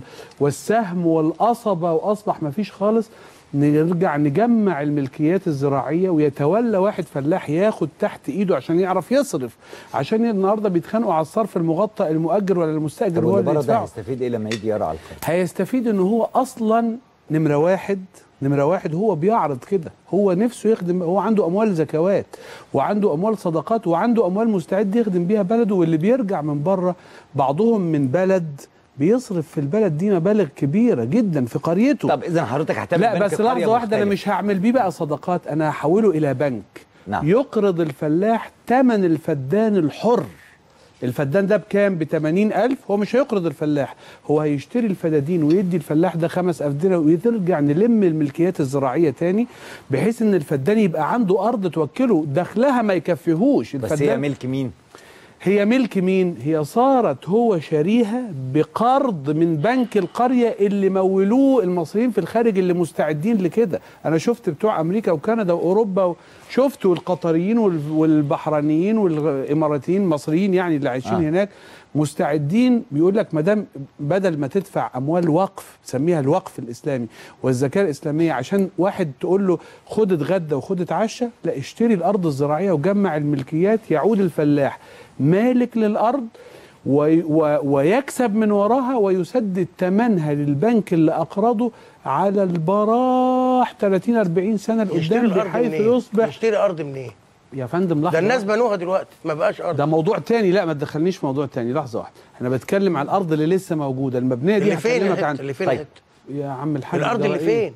انت في القرية؟ انت منين أنا من المنوفيه طيب. طب المنوفيه ما عندكش ولا فدان في فقه وفي أرض مبني عليها وفي ما أرض فيش تبقى- حد عنده أرض وافر. الأرض دلوقتي بقى كل واحد بنوبه قراط يا عمي. ما أنت مش واخد بالك من مساحة الأرض في الريف؟ ده أنا اللي قايل الكلام اللي أنت بتقوله. قلت لك ايراد إيه؟ ده في ايراد وسهم وقصبة في طب هو ورثة. يشتري منين؟ اللي هيشتري المستثمر اللي جاي من بره ده؟ هيشتري أرض منين؟ يزرع فيها الفلاح. أقول لحضرتك تركب عربية تمشي على الطريق تلاقي أرض زراعية. بتاعت مين دي؟ بتاعت الحاج فلان. عايز يبيعها؟ لا مش عايز يبيعها. ومش هيبيعها. آه. طب حلو قوي قوي قوي. بكام الأرض دي؟ الفدان بكام؟ آه. لو إنه مستعد إن هو اللي عنده خمس تسهم وايرات وعنده شوية مش الملكية اتفتتت لو عرفنا نقعد نلملم الملكيات دي بالشراء الحر. وتتحول لملكيات حقيقية الفلاح دخله هيبقى رائع وفلوس موجودة. هي فكرة والدولة مش. هتتكلم يعني- يعني فكرة مش يعني- صعبة لأنها موجودة هو بيكلمني على التعاونيات. يعني اللي عنده قراط بين- يبيعه انت عم عاوز تلم المساحات الصغيرة تخليها إقطاعيات يا. أستاذ؟ اقطاعيات إيه ده أنا هملكها الفلاح اللي خد خمس انت هتشتريها من مين عشان تملكها ما هو انت للفلاح كده مش ممكن تعرف الإجابة بقى انت طيب. كده لا، انت هتشتريها ما حدش طيب، عنده أرض أنا عايز اوقف. ده لأن الوقت للأسف مش هيسعفني أنا أخدت الوقت والله بقول. لك أقسم بالله ما هي مجادلة طيب، ولا تعجيل بس بسأل على- ما فيش حد عنده أرض. إحنا عندنا مشكلة الطلب ال- ال- ال- المعروض أقل من المطلوب أنت بتتكلم كتير من غير ما تسأل مش من غير ما تسمع الإجابة على اللي أنت سألته هو طيب. انت لسه طيب هيشتري؟ الأرض من مين يديها ما الفلاح أنا هقول لك أهو أنت؟ مالك كده ده أنا عن نفسي أنا مستعد أقعد أسمعك والله وأبقى سعيد طيب ده بعد الهوا آه بعد الهوا بس أنت لو عايز تسألني لازم تخليني أجاوبك ولا ماشي إيه ماشي طيب لا. آه، النهارده بيجي واحد جده الله يرحمه خد من الإصلاح الزراعي خمس فدادين ولا ثلاث فدادين ومات الجد بقى عنده ست ولاد كل واحد خد فدان. ومات الأب بقى كل واحد خد له قراطين اتبنى على صح ولا لا؟ نصهم. صحيح. اتبنى على نصهم وفضل ربعهم و... آه. ففضل عنده في الآخر إيه؟ خمس اسهم ست اسهم الاسهم اللي عنده دول ما يوكلوش عيش. ده بيقعد طول السنة لو جابوا له ساعات ألف جنيه يبقى كتر خيره. فلما تيجي النهارده الراجل ده لو فعلا استطعت إنك تجمع الملكيات مش تديها للإقطاعيين زي ما الراجل بيقول. أمال لمين؟ ترجعها لنفس الفلاح نفسه الغلبان اللي عايز الخمس أفدنة عشان يعرف يعمل عليهم أنتوا كنتوا بتعملوا تاخدها؟ منه وترجعها دي له؟ فكرة محتاجة تتحط على المحاكم. لا تاخدها من الفلاح وترجعها له؟ طيب ما أنا بقول لك أنت تاخدها هيديله من مساحة. أكبر هتاخدها من حسن تبيعها لحسين يقوم حسين يبقى معاه اللي هتاخدها منه هيروح فين ما إحنا عاوزين نسكنه عشان أنت يعين مش عايز تسمعني طيب ممكن ممكن نوقف أنا ده قلت لك اشتريت مش... أنت مش عايز تعرف هو ما هو. ما فيش ارض حد يشتريها هو مفيش فايدة أنا بلف. الكورة أنا ما أعرفش. أجاوب غير اللي هيسمع الإجابة طيب شيخ حازم فمش هيعرف بالنسبة لل 50% عمال وفلاحين حضرتك شايف إنها تدريجيا مع تغيير الثقافة لابد إن النسبة دي 50% عمال وفلاحين يا أستاذ خيري إحنا كان عندنا نائب عظيم اسمه فكري الجزار. نعم. دخل قدامه أي واحد فئات كان يكسبه. كان عندنا نائب عظيم وكان عمال وكان عندنا الشيخ عاشور يدخل ده, ده حد يكسبه. وكمال أبو عيطة. أبو العز الحريري حتى وأبو العز الحريري. وكمال أبو عيطة. نعم. في عمال الدكتور السيد علي السيد الذي كان عاملا وحقيقة حصل على المال. حضرتك مش مع آه، آه، الإصرار على نسبة ال 50% لا يمكن أهين أبويا وأمي وخالتي وعمتي وعمي تمام. واهين وأقول له أنت مش هتدخل مجلس الشعب لأنك بجلابية وعمة غير. غير لو لو فضت لك الحتة زي ما الثورة عبد الناصر ما قفل دوائر على أعضاء مجلس قيادة الثورة عشان لو تنافسوا حد هيسقطوا وكان موسى صبري وهو صحفي الله مسيحي يرحمه. كان ضد واحد منهم اللي هو مجدي حسنين قفلوا الدايرة على مجدي حسنين عشان يكسب. أنا نعم. مش ممكن أخلي الإنسان يفضل مهان ويقول لي مش لاقي أجرة قطر وإزاي يفضل كده؟ دول النهارده العامل والفلاح اللي كان بيخش الانتخابات في بلدنا في بلدنا أولاده بسم الله ما شاء الله بين دكاترة أساتذة جامعة ومستشارين وقضاه وظباط وغيره. لازم أكرمه أكرمه صحيح طيب. ويملك الكثير. طب انت في حزبك انت في حزبك حد فلاح طيب، نجي عنده خمسة مارجريت، قريط في حزبك فلاح نجي عنده خمسه ما قريط عنديش حزب يا عم الحاج عبد المجيد لا في وبعدين؟ في السلفيين. حد نجي عنده خمسة قريط وأنا مالي ومال السلفيين. أمال أنت مالك أنت ومال إيه؟ مربي دقنك ليه النهارده. إيه ده؟ مربي دقنك أنا ما بشغلش مشكلتي بمهمة ليه الحلاق. أربيها وأقلقها وأحلقها؟ دي مشكلة من أبسط السنن. طيب. يعني مش دي المشكلة عندي خالص تمام. ولا في. طول التوب ولا في أسره أنا في أنا في موضوع السياسات اللي هيحط لي خطة لإنقاذ مصر إحنا عندنا فلاحين بلا أرض وأرض بلا فلاحين طيب اسمع تمام. مني أقول لك في نص أستاذ- دقيقة لأن الأستاذ خيري هيعترض على هذا أنت عارف حضرتك هو متصور إن مشكلة الفلاحين تتحل زراعية عند وزير الزراعة مثلا أو نعم. اتحاد الفلاحين أو النقابة مشكلة الأرض الزراعية والفلاحين في مصر في ثلاث وزارات تانية خالص اولا في وزارة زي البحث العلمي وزارة البحث العلمي دي يقدر الفدان اللي بيطلع له مثلا 10 يطلع اراضي يبقوا أضعاف. 20 نعم في وزارة الصناعة لأن هو عشان ينقل ال- الأسمدة وال... وحتى الجاز اللي بيوصلوا اللي مش عارفين يدوروا التصنيع الري والإنتاج. لازم بالظبط دي. منظومة الدولة؟ الزراعة الزراعة والري طيب عندي مارجريت نقطة واحدة هستأذنك يا يضيفها حضرتك. في برنامجه، أنت كده مش هتدي. لا هيضيفها برنامج نقطة واحدة أنت عارف هي إيه آه. إحنا عندنا عاوزين نعمل قرى بديلة إحنا الأرض ضاقت والناس بنوا عليها تمام. عاوزين نروح سينا وعاوزين نروح تشكى طب ده جزء من وعاوزين. نروح البهير الصحراوي آه برافو ورجال. الأعمال يشتروها انت هايل يا أستاذ خالد أنا. كنت واخد منك أنا كنت واخد. موقف منك قبل كده ده انت؟ هايل آه ده ده إيه؟ العظمة دي طيب أنت الكلام. دي أقول لك عليه ده قديمة أنت لو قريت اللي أنا كاتبه أنا عامل مشروع القرى البديلة في ست مناطق زراعية في مصر في منها الصحراء سينا. الغربية وفي مارجريت. وفي نعم. الساحل. الشمالي إنه تنشأ تؤخذ قرى الكلمة كاملة. غلابا حتى في ظل وجود غير رئيس. حاجة تانية معلش يا فندم غير الزراعة أنت السودان أنت حضرتك تعلم إن وزير الزراعة اللي فات مطلع قرار علشان تيسير زراعة السودان الأهرام نشر الشهر اللي فات إن وزير الزراعة الجديد لغى القرار وما أصبح خلاص زراعة السودان تبقى هتزرعها الشهر اللي فات وتلغي زراعتها. طيب، فأنا أستاذة على الزراعه وست. مناطق زراعية مصرية. أنا وقتي بس مش أنت ما سمعتنيش. قبل كده. طيب أستاذة مارجريت اتفضلي. في الحقيقة يعني طبعا أنا أشكركم إن أنا لا أنا آسف إني سهرتك وأخرتك. وانت من الساعة 7 الصبح في البرلمان. سهرتها إيه يا أستاذ. خير؟ ما أنا سهران أنا كمان. لا أنت رئاسي أنت هتحكم مصر وهي نائبة في البرلمان. نائبة في يعني. البرلمان دي تسهر للصبح اللي هيحكم مصر ده هينام. وانت فاهم إن حضرتك ولا, النائب ينام طيب، ولا النائب اتفضل. ينام. الحقيقة رغم إن أنا فعلا ما بحبش أتكلم عن الملف الطائفي اطلاقا نعم. وده معروف عني. ودايما أقول أنا من مصر أنا مصرية أصيلة. اتربيت على الوسطية الإسلامية ومحبة المسيحية. لكن في الحقيقة في برنامج 90 دقيقة يوم 3 3 2012 سمعت آه، آه، أستاذنا العظيم بيقول إيه؟ كراهيتنا الشديدة لأي دين يخالف الدين الإسلامي سواء دين أرضي أو غير أرضي ولاننا ولكننا إحنا مضطرين إن إحنا نقبله لأن ديننا أمرنا بكده. يعني أنا ما أعتقدش ابدا إن الإسلام اللي إحنا نعرفه اللي أنا شخصيا كمسيحية اتربيت عليه. إنه بيكره أي دين بدليل. الرسول صلى الله عليه وسلم اتجوز قبطيه يكرهها إزاي؟ يعني أنا مش عارفه أقرب الناس إليكم مودة قل أنا النصارى. ففي الحقيقة يعني مقولة يعني أزعجتني جدا. في برضه برنامج آخر سمعته بيقول لا إحنا هنفرض الجزية على المسيحيين. جزية إيه؟ وفي أنهي عصر وفي أنهي إذا كان الأزهر الشريف لما طلع فتوى قال إن الجزية دي كانت في وقت إحنا النهارده آه، يعني مش ممكن تطبق. أو يعني مش هخش معاك في جدال إن المسيحيين الجزية ما هماش آه، يعني ما هماش أقلية وما هماش وافدين على مصر. مش هخش معاك في هذا الجدال. وسمعتك برضو في برنامج آخر بتقول ده مركزة معاه. هفرض- آه طبعا. ده برافو ده رئيس أنا الجمهورية. سعيد. حضرتك الله. الوحيدة. ده رئيس الجمهورية. أنا عايز أنا عايز أشكرك لأن حضرتك الوحيدة من ساعة ما بدأ اللقاء ده. آه. ما عدا عم الحاج عبد المجيد عشان قاعد وهيزعل لا، لا، تحت أمرك. التي بتقولي كلام موثق وأنا أحترم. المر الانسان ال- وبالتالي- برافو. طيب ال- الحلقة الثالثة وفي الحلقة الثالثة حضرتك بتقول سأفرض الحجاب على المسيحيين وأتمنى إن مصر كلها تبقى منقبات ودي في قناة التحرير يوم 5 8 2011 كفاية قوي دول. ده ده ثلاث حلقات. هقول هقول كتير أصلا. ثلاث حلقات يعني الرد عليهم كفاية. طيب. ولأنهم هياخدوا في دقيقتين. طيب أسمع كمان محمد دياب علشان يبقى حضرتك بترد وقت لا لا. استوفي لا لا. خليها خليها بعدها. طيب لا لا. استوفي بقى. لأن okay أنا بس في حاجات تانية عايز اسالها حضرتك. ألا يزيد الرد عن أربع دقائق مستحيل. لا. الأستاذة مارجريت ما هو دي أنا جاية بكلام أنا خطير. دي هتضيع لي. هتضيع لي مش مش ناخبين. دي هتضيع لي حوالي كذا و60 واحد في الحملة مسيحيين طيب معايا. حضرتك هتقول آه أو لا حصل أو ما حصلش وحصل ليه؟ يا إما هتكسب. ناس آخرين. بالظبط برافو عليكي. اتفضل. هو كده برافو.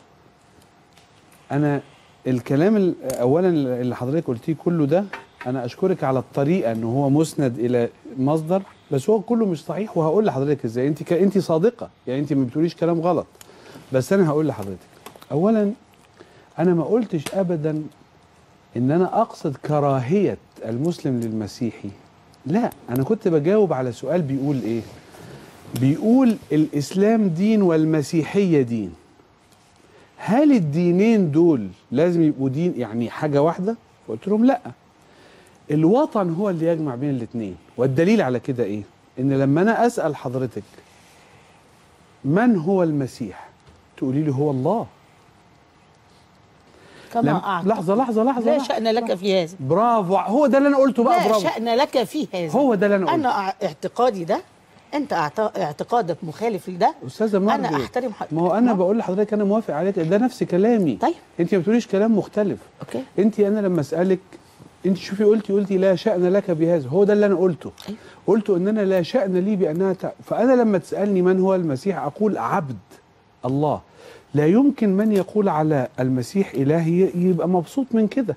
فقلت إن ممكن أنا لا شأن لي باعتقادك لا، وأنت أنت لا شأن لك باعتقادك يا أستاذ طب آه، خلينا نسمع بس لأن أنا فعلا الوقت خلاص أنا كده قلت إيه؟ فاللي حضرتك بتقوليه ده هو اللي أنا قلته إن ده معناه إن كل واحد أنت مش هتقول عبد الله بس أنت هتقول روح الله لأن أستاذة. طب معلش ما إحنا اتفقنا إن معك فيه من الحق. روحنا فتمثل أستاذة مارجريت إحنا ما بنناقش عقائد ما بعض. أنا بقول لحضرتك بس بصحح معلومة. إحنا ما بنناقش عقائد okay. بعض. حاضر. حضرتك هل حضرتك عندما تحدثت ما عن شاء الله ده, حضرتك بتصححي لي عقيدتي أنا شخصيا. ألف شكر يعني. أنا مصرية أنا لا فكرة كراهيتنا. شديدة. أنا لا لا أنا قلت بقى- كنت تقصد كراهية لا لا المسلم لا- لم لم أقل ولم يحدث أنا ما, قلتش كراهية المسلم أجاوبك. أنا قلت ما هو كراهيه مش هينفع طيب، كده لازم ماشي. أجاوبك يعني لازم لما حضرتك تسألي طيب أنا ك- تخليني أجاوبك. لو هو سمحتي. لو سمحتي أنا في خليني مأزق. أجاوبك من في فضلك. مأزق الوقت اتفضل. إحنا إحنا ممكن آه، يعني طيب أنا بس آه، ما هو لازم حضرتك بقى تحاصر السؤال أصلا الله يخليك نعم. عشان لما يجي أنا عايز أحاصر السؤال. أنا أنا لا أعرف إنه يوجه لي سؤال ويبان ان هو آه، آه، آه، طيب حضرتك. بتتكلم عن كراهية المسلم فأنا عايز أقول اللي أنا قلته هو اللي حضرتك قلتيه دلوقتي إنه لا شأن لك بعقيدتي بالظبط وأنت لا شأن وأنا لا شأن لي بعقيدتك هو ده اللي أنا قلته إن ما فيش شك إن كل عقيدة مش مستعدة تؤمن بالعقيدة الأخرى لكن ده لا يمنع أن الوطن الواحد يجب أن أدافع وأنا تارك وصية لابني. قلت له لو اتداس على حق مسيحي واحد إن شاء الله في نص درجة مجموع. وقمت تدافع عنه فقتلت فأنت شهيد في سبيل الحق. فإذا أنا لا يمكن أقول كراهية دي أبدا أنا بقول اللي قلتيه أنت ولم أقل هذا أبدا وإنما بقول إنها مسألة مواطنة بين مسلم ومسيحي. وبالتالي أنا وأنت وحضرتك متفقين تماما ما فيش ولا اختلاف فلا- تعبير الكراهية يا فندم ورد بالفعل على لسانك؟ ما أنا بقول لحضرتك هو بالنص لما كده. ذكرت لما ذكرت بقول إيه؟ إنه أنا ممكن أ- أصل هي كان الموضوع حوالين الموضوع فبقول له أنا ممكن أكره وجهة نظرك وانت تكره نعم. وجهة نظري. ممكن أكره ما تؤمن به لكن لا بالظبط. لكن ليست أبغض وأنت كراهيه تبغض. ليست كراهية بشرية. فأنا نعم. كنت حبيت افهمهم لأنه بيسألني لكن أنت تحب المسيحي كإنسان. أنا لا شك. أنا لا نعم. لا أنا لا أكره ولا أحب. أنا أختلف معك ولكن أنا أحبك. نعم. لا لا لا هو ما أنا أختلف يا معك أستاذة مارجريت هو نص في الأمور أنا- لكن أحبك. طيب هو أنا اللي بالنسبة للجزء يا حضرتك. أنا اللي جايب التعبير ده من عندي ده كان نص السؤال. هو كان بيسأل عن الكراهية فقلت له أنا قد أكره الرأي المخالف أو العقيدة المخالفة لكني لا يمكن أترجم هذا إلى وجود بيني وبين مواطني شيء ولذلك أنا بقول لحضرتك رايي طيب ورايك حضرتك واحد قلت قلت قلت على الجزيه يعني. قلت إن الجزية انت عايز تفرض الجزية الجزية عمري ما قلت كده مطلقا ولا مرة طب ده خلاص. اللي بيحصل إيه لا قلت الجزية في أنا في, يا فندم أنا مش. معقول كده ما أنت أصلاً. جاوبتي طيب ما أنا قايم بالمهمه أهو إديني فرصة علشان دياب خلاص أنا آه. اتفضل يا فندم وبعدين؟ طب خلاص هي مش هتتكلم. حضرتك قلت ما قلتش. وبعدين؟ معارضة. طيب. أنا اللي بيحصل إيه؟ اولا أنا صدقني حضرتك أنا شديد الإعجاب بحضرتك النهارده بقى إن أنا يعني بس سعيد جدا بيك والله. ربنا يكرمك ويخليك. الحقيقة اللي بيحصل في البرامج الأخرى كالآتي إن أنا أتكلم برنامجي مثلا أتكلم عن 50 نقطة. يروح مقدم البرنامج سايب ال 50 نقطة اللي أنا نتكلم فيها ويسألني عن النقطه رقم 51 اللي أنا عمري ما اتكلمت فيها. ابدا. فيجي بعد ما أتكلم في كل حاجة يقول لي طب وما رأيك في الجزية؟ إنما أنا عمري ولا نزلت الجزية في برنامجي ولا قلت الجزية. أنا إجابات عن أسئلة بيسألها في مذيع وبالتالي هذا أيضا غير موجود. طيب. طب ممكن ال- بس- النقطة الثالثة هي يا- بتقول يا- بتقول يا فتوى خيري،. أنا لا، يا حضرتك سمعتك- أقول بجاوبك على طب أرجوكي لأن أنا مش عارف هعمل إيه. يعني أنا هيقطعوا عليا الهوا ولسه دياب ما حضرتك اتكلمش بتقولي فتوى الأزهر في هذا الشأن. مع بتقولي انت قلت الجزية مع ان فتوى الازهر كذا أنا اصرح لحضرتك اهوت وده يبقى كده اتفاق وعهد اهو أنا بقول وأنا لسه مرشح انه ما يفتي به الازهر هو المؤسسة المخولة جميل أشكرك فبالتالي ما تقدري آه، ما انت حضرتك. طيب. عارفة لو سمعتي كل إجاباتي هتشكريني على كل إجابة لأنه ليس هناك ولا حاجة من الكلام ده حضرتك قلت ستفرض الحجاب وتتمنى أن على المسيحيات و... أتمنى إن ومصر مصر- كلها تكون منتقبة أنا قلت مصر أتمنى مصر كلها تكون منتقبة مع المسيحيات حرام عليك يا شيخ أنا قلت هتفرض أنا عمري الحجاب على. الجميع المسيحية وتتمنى هنقبها ليه؟ وتتمنى إن مصر تكون كلها منقبات وحتى لما اتكلمت قلت ما العذراء مسلمين مريم هم كانت حرين لما هم حرين أنا قلت إن مش دي معنى كده إن إحنا هل هذه أمنية خاصة فعلا عند دي. طيب أستاذة. والله. العظيم أنا هعرف أسأل أنت حضرتك بتعملي كده في مجلس الشعب والدكتور. الكتاتني بيسيبكم آه، طبعاً. تقعدوا مش تشوشروا يعني على بعض ده أنا شايف إن الدكتور الكتاتني حضرتك. بتتمنى دي أمنية ملهاش دعوة بفكر أو بسياسة رئيس إن مصر تبقى كلها ستات لابسة نقاب لا لا لا لا لا خالص طيب خالص كويس. أنا كنت بقى اجاوب عن سؤال بيقول لي طب والنقاب قلت له يا رب إن شاء الله مصر كلها تبقى منقبة. يا رب تبقى كلها محجبه اللي عايز يا يلبس يلبس. حريات الناس. أنا ما طيب. أقدرش أقول لواحدة البسي النقاب ولا أقلعي النقاب. هي حرة. بالظبط. ما في إطار الحريات كله بتتصور إن يا رب تبقوا كلهم منقبات. يعني المسيحيات هتبقى هرقب المسيحيين يا يا اخوانا سيدي وماله. هو ده مش عيب بس أنتوا حرين بقى تنقبوا. أنتوا لوحد بمزاجكم. لكن أنا مش طيب. هنقبكم. دياب. دياب. مبدعنا الجميل. اتفضل. يعني بلاش كلام ما قلتوش الله يخليكم يعني والله ده قلته. موثق اهو. اتفضل طيب اتفضل يا دياب. ازي حضرتك اولا الله يخليك أنا زعلان منك بس زي بعض. ليه خلاص بقى من أيام ما كنا بنتقابل ما أنا ما أنا يلا قول ازي حضرتك إحنا كان أيام ما كنا لينا بنتقابل بنتقابل وعندي وجهة نظر مختلفة وطلعت هي اللي صح اللي هي في إيه يا فندم في أنا الق- مش هنقول بقى في؟ البرنامج شايفين الحوار رايح فين؟ آه. ملوش دعوة أنا بس انوه على الحتة دي كان كان كان ليا لقاءات متعددة آه، مع الشيخ حازم. في حكاية اجتماع مرشحي الرئاسة وكان لينا لقاءات كتيرة قريبة يعني فأنا أنا اتشرفت إن أنا اتعرفت عليها عن قرب. وعايز أقول النهارده أنا طبعا مشفق على حضرتك من الست يعني غصب عننا كل واحد بيجي غصب عنه بيبقى جاي مش هقول بانتقاد بس بال بالحاجة أو الاثنين طبعا عايز يناقش آه. يبحث عن مشفق إجابات. عليا. إيه يا راجل؟ ده أنا سعيد سعادة. والله أنا ما سعدت من ساعة ما بدأت الموضوع ده ببرنامج زي ده. طب الحمد الحمد لله. لله. يا سعيد سعادة بالغة. مشفق عليا. إيه؟ شد حيلك ما يهمكش. طب يلا. بس أنا- أنا اسمح لي بقى يعني أحطك في بروازك الجميل اللي تستحقه. ده من أدب حضرتك. الأستاذ محمد دياب فعلا أنا ما كنتش هقول لكن أنت حر. هو واحد من الشباب الذين كانوا سببا في انهم تحركوا وجمعوا مرشحي الرئاسة. في توقيت ما لكي يتفقوا على طريقة لمواجهة الموقف في مصر وهي الاجتماعات التي اختلفت فيها مع إخواني الفضلاء الآخرين. ولا شك إن أنا شايف إنه الحمد لله ربنا جعلها سبب عز كبير ليا لأنه اتضح ان كل ما قلته في هذا التوقيت هو الذي تم. فأنا بنتهز فرصة وأشكرك وأشكر ال- الستة الآخرين وهيجي يوم يتقال دول عملوا إيه الحقيقة وربنا يبارك فيكم يا رب. الحمد لله. اتفضل يا دياب. متشكر جدا لحضرتك. اولا آه، كلمتين بس مختصرين. اولا آه، موقفك الثوري.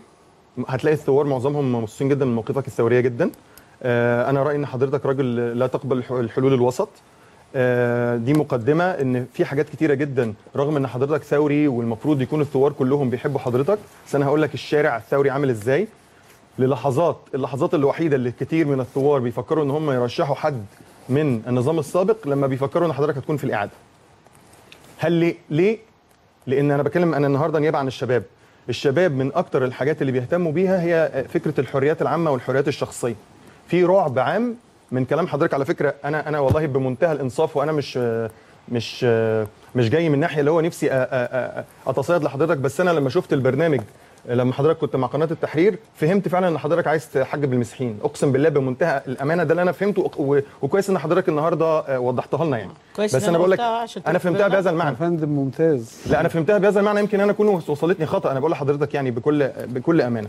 فكان سؤالي آه، آه، كان سؤالي هيبقى على إن في مساحة من كبيرة من من الآراء الدينية بتقول إن ممكن الحاكم إنه يفرض ال- الفروض وفي مساحة تانية بتقول مش لازم. هل حضرتك شايف إن العصر اللي إحنا فيه مناسب للشباب إن أنت تقول لهم أنا هفرض عليكم الحاجات أنا عارف إن حضرتك دايما خطابك بيقول اجلا فكرة فرض الفروض بال... ب... بالإجبار أو بأي طريقة مش مش قصدي بالقوة ولكن فرض الفروض يعني الناس لازم تتحجب آه، آه، مش فرض. الشريعة فرض الاسلاميه الشريعة. و- و- وله آراء في برنامجه مختلفة إن المسألة لا- ليست بالأولوية وأنها متدرجة وأن أنا هختلف معاك. اللي بيفرضها هختلف معاك لا فرض الشريعة الإسلامية تقريبا هتلاقي حتى الليبراليين النهارده بيقولوا موافقين. نعم. انما فهم الشريعة الإسلامية بإن فرض الفروض واجب فرض الفروض. الفروض. يعني تصلي أنا سمعت قبل كده حضرتك كنت بتتكلم بتقول صلاة الجمعة ما ينفعش حد يبقى آه، مش هينفع يبقى حد صلاة الجمعة والناس واقفه بره كده. مش هينفع إن حد ما يبقاش محجب. فأنا بتكلم على المقصد. طيب. هل أنت متخيل إن هذا الجيل يق... هتبقى مناسب ليه آه، إنه إنه إنه يفرض عليه حاجات؟ طيب هذا جزء. في جزء تاني هستأذن حضرتك فيه إذا سمحت بيه هيحصل ما سمحتش بيه مش. هيحصل. آه. الأستاذ محمد دياب جايب اتنين فيديو لحضرتك يريد آه. توضيح وشرح. هل تسمح لنا بعرضهم؟ لا. طب أنا. هقول لك عليهم باختصار هم مش فيديوهات حاجات وحشة. هم يعني طيب. حاجة لا لا أنا ما عنديش فيديوهات حاجات وحشة. أنا بس عايز أجاوبك. طيب. لا لا ما فيش ولا ما فيديو حاجة وحشة. طيب ممكن تقول اللي في الفيديوهات؟ هم كانوا فيديوهين أنا بس بالنسبة لي ما عنديش ولا فيديو حاجات خلاص وحشه أنا هقول متحدي هقول لهم مش يعني. أكيد مش هيطلعوا حاجة هتزعل حضرتك على فكرة حضرتك أنت دايما مواقفك هي ما بتتغيرش ودي حاجة معروفة عنك. فأنا قصدي الفيديوهين هم أنا بالنسبة لي حضرتك أكثر من إنك كمان سياسي أنت راجل تربوي بالنسبة لنا. فهم كانوا فيديوهين على الإنترنت أنا بقول لحضرتك أنا بحاول أنقل لك ال- القصة وليس تصيدا. الفيديوهين فيديو منهم اللي هو آه، بتاع بيبسي.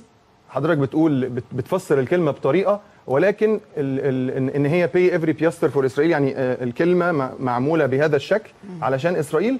ولكن لما الواحد بيدور ودلوقتي إحنا بقينا ده العصر بتاع الشباب. أول ما بسمع كلمة بخش أدور على الويكيبيديا أو هي مصدرها منين فالكلمة مش سليمة. ال- الراجل اللي عمل بيبسي مسيحي وعملها قبل إسرائيل ب 50 سنة. 50 سنة. آه، و- و- ف- فهل المعلومة دي هل في موقف زي ده هل عملها سنة كام؟ 1902 طيب. آه، ده ده واحدة الثانية عارف حضرتك اجتماع مرشح الرئاسة اللي كنت حضرتك هتجتمع فيه ده؟ كل مرشح رئاسة رحنا اجتمعنا معاه. مرشح الرئاسة مش هقول أسماء مين بس في منهم كان عندهم لما أنت عارف حضرتك كنتوا لسه أول مرة تقابلوا بعض تخوف غير طبيعي يقابله مع الشخص اللي بيقول الش... الشيخ الشهيد بن لادن. ده كان رجل دبلوماسي. فهل إزاي هتكون رئيس جمهورية دبلوماسي وبتقابل الناس وتقول لهم الشيخ الشهيد بن لادن؟ إذا كان احمدي نجاد ما بيقولهاش. الله يرحمه يا أخي والله. طيب آه حضرتك كمان الفيديو اللي موجود وهو اللي موجود الفيديو الشيخ, الشيخ الشهيد بن لادن. عليه رحمة الله عليه. رحمة الله ارحمه هل ينفع ان أنا. لما أقول كتربويا لما أقول الفيديو بتاعه ما أقولش اخطائه لو أنت شايف حضرتك إن هو مات شهيد هل اخطائه ما ينفعش تذكر في نفس الموضوع. أنا بتكلم تربويا. أنا شاب بحب الشيخ حازم صلاح وهو مثلي الأعلى في الحياة. هل ينفع أشوف الفيديو ده كده من غير اخطائه بس. أنا بشكركم جدا. أشكرك. ما تبقى من وقت هو ست دقائق لا هم يمكن. هم ولا- لحضرتك. لا بس ما أنت كده سرقتنا برضه. يعني أنا عايزك تجاوب. أنا آه. سايب الوقت لحضرتك. خلاص تفضل. اولا أنا في منتهى السعادة بالأسئلة دي. يعلم الله إن أنا مش بقولها تصيدا. خلاص ست دقايق بتوعي. اتفضل. طيب خلاص بالظبط. بدأ عصر الدكتاتوريه خلاص. ما أنا قلت من الأول. آه ما أنا قلت لك. أنا أسمعه يسمي يتكلم زي ما هو عايز. أول ما أجاوب لازم أجاوب بقى. اتفضل يا فندم. بقيت الثلاثه اللي قبل كده كانوا أسهل. اتفضل يا فندم. آه، شوف يا أخ محمد. اولا كلمة حضرتك ذكرتها عابرة بس أنا أحب أعلق عليها لأنها ت- تهمني. أنت قلت لي أنت لا تقبل الحلول الوسط بالعكس. عشان تبقى عارف مع إن أنت قلتها في مقام المدح. بس لأ أنا في الحقيقة شخص يجيد فن قبول الحلول الوسط. ويعرف أن المسألة عبارة عن موازين لازم فيها الحكمة اللي تخلي الواحد عنده نسبة تنازل عشان يقدر يعمل حاجة لأن أنا هعمل كده مع أمريكا ومع إسرائيل وداخل المجتمع وعايز أكفل إن ما يبقاش في شيء يجر من الخطر ولا واحد في المليون على البلد. وأعمل كده ثوريا عشان تبقى عارف حتى مع الجهات الداخلية وأعمله مع الجماعات الأخرى لازم أوصل إلى متوسط حكيم متوسط رجل دولة. هناك فارق بين رجل السياسة. ورجل الدولة. رجل الدولة هو الذي يستطيع إنه يعمل ميزان والميزان معناه الحلول اللي تتوزن في الآخر تطلع الوزنة مظبوطة. فأنا لا غير صحيح. وإن كانت مبادئي واحدة كرجل سياسة إنما كرجل دولة ما تبقى لازم لها طريقة تنفيذ. ده نمرة واحد. ودايما المبدأ كده السياسة هي فن التنفيذ مش المبادئ. فن تنفيذ المبادئ. أنا هعمل فن الممكن. أنا عايز أبقى عايز أبقى دكتور بس أنا لسه في ستة ابتدائي. هشتغل إعدادي وثانوي و- وأذاكر جبر وعربي نعم. وإنجليزي وفرنساوي وحساب عشان أوصل في الآخر سؤال. إلى إني أكون إيه أكون طبيب قبل الوقت. فبالتالي الحلول الوسط دي في رجل الدولة لازم تبقى طيب. موجودة وإلا يضيع هذه البلد واحدة. الحاجة الثانية الحريات العامة والحريات الشخصية أنا مستحيل وأنا طول عمري هي دي قضيتي اللي أنا بثور عليها ودمي يغلي لا يمكن ألمسها لمس بسيط وخصوصا إن أنا عارف إن الناس نفسها تعيش بقى نسيم إنها حريتها الحلوة. عشان كده أنا مش هقول لك في تطبيق الشريعة الإسلامية اللي حضرتك قلته بس حتى مدمن البنجو والمخدرات والحشيش من حقه علينا اللي بيحط قطعة من الحشيش في السيجارة بتاعته من حقه لما تكون انت قبل كده كنت بترخيله الحبل وتدخل مخدرات إن لما تيجي بعد شوية إنك تكون رحيم بطريقة انتقاله.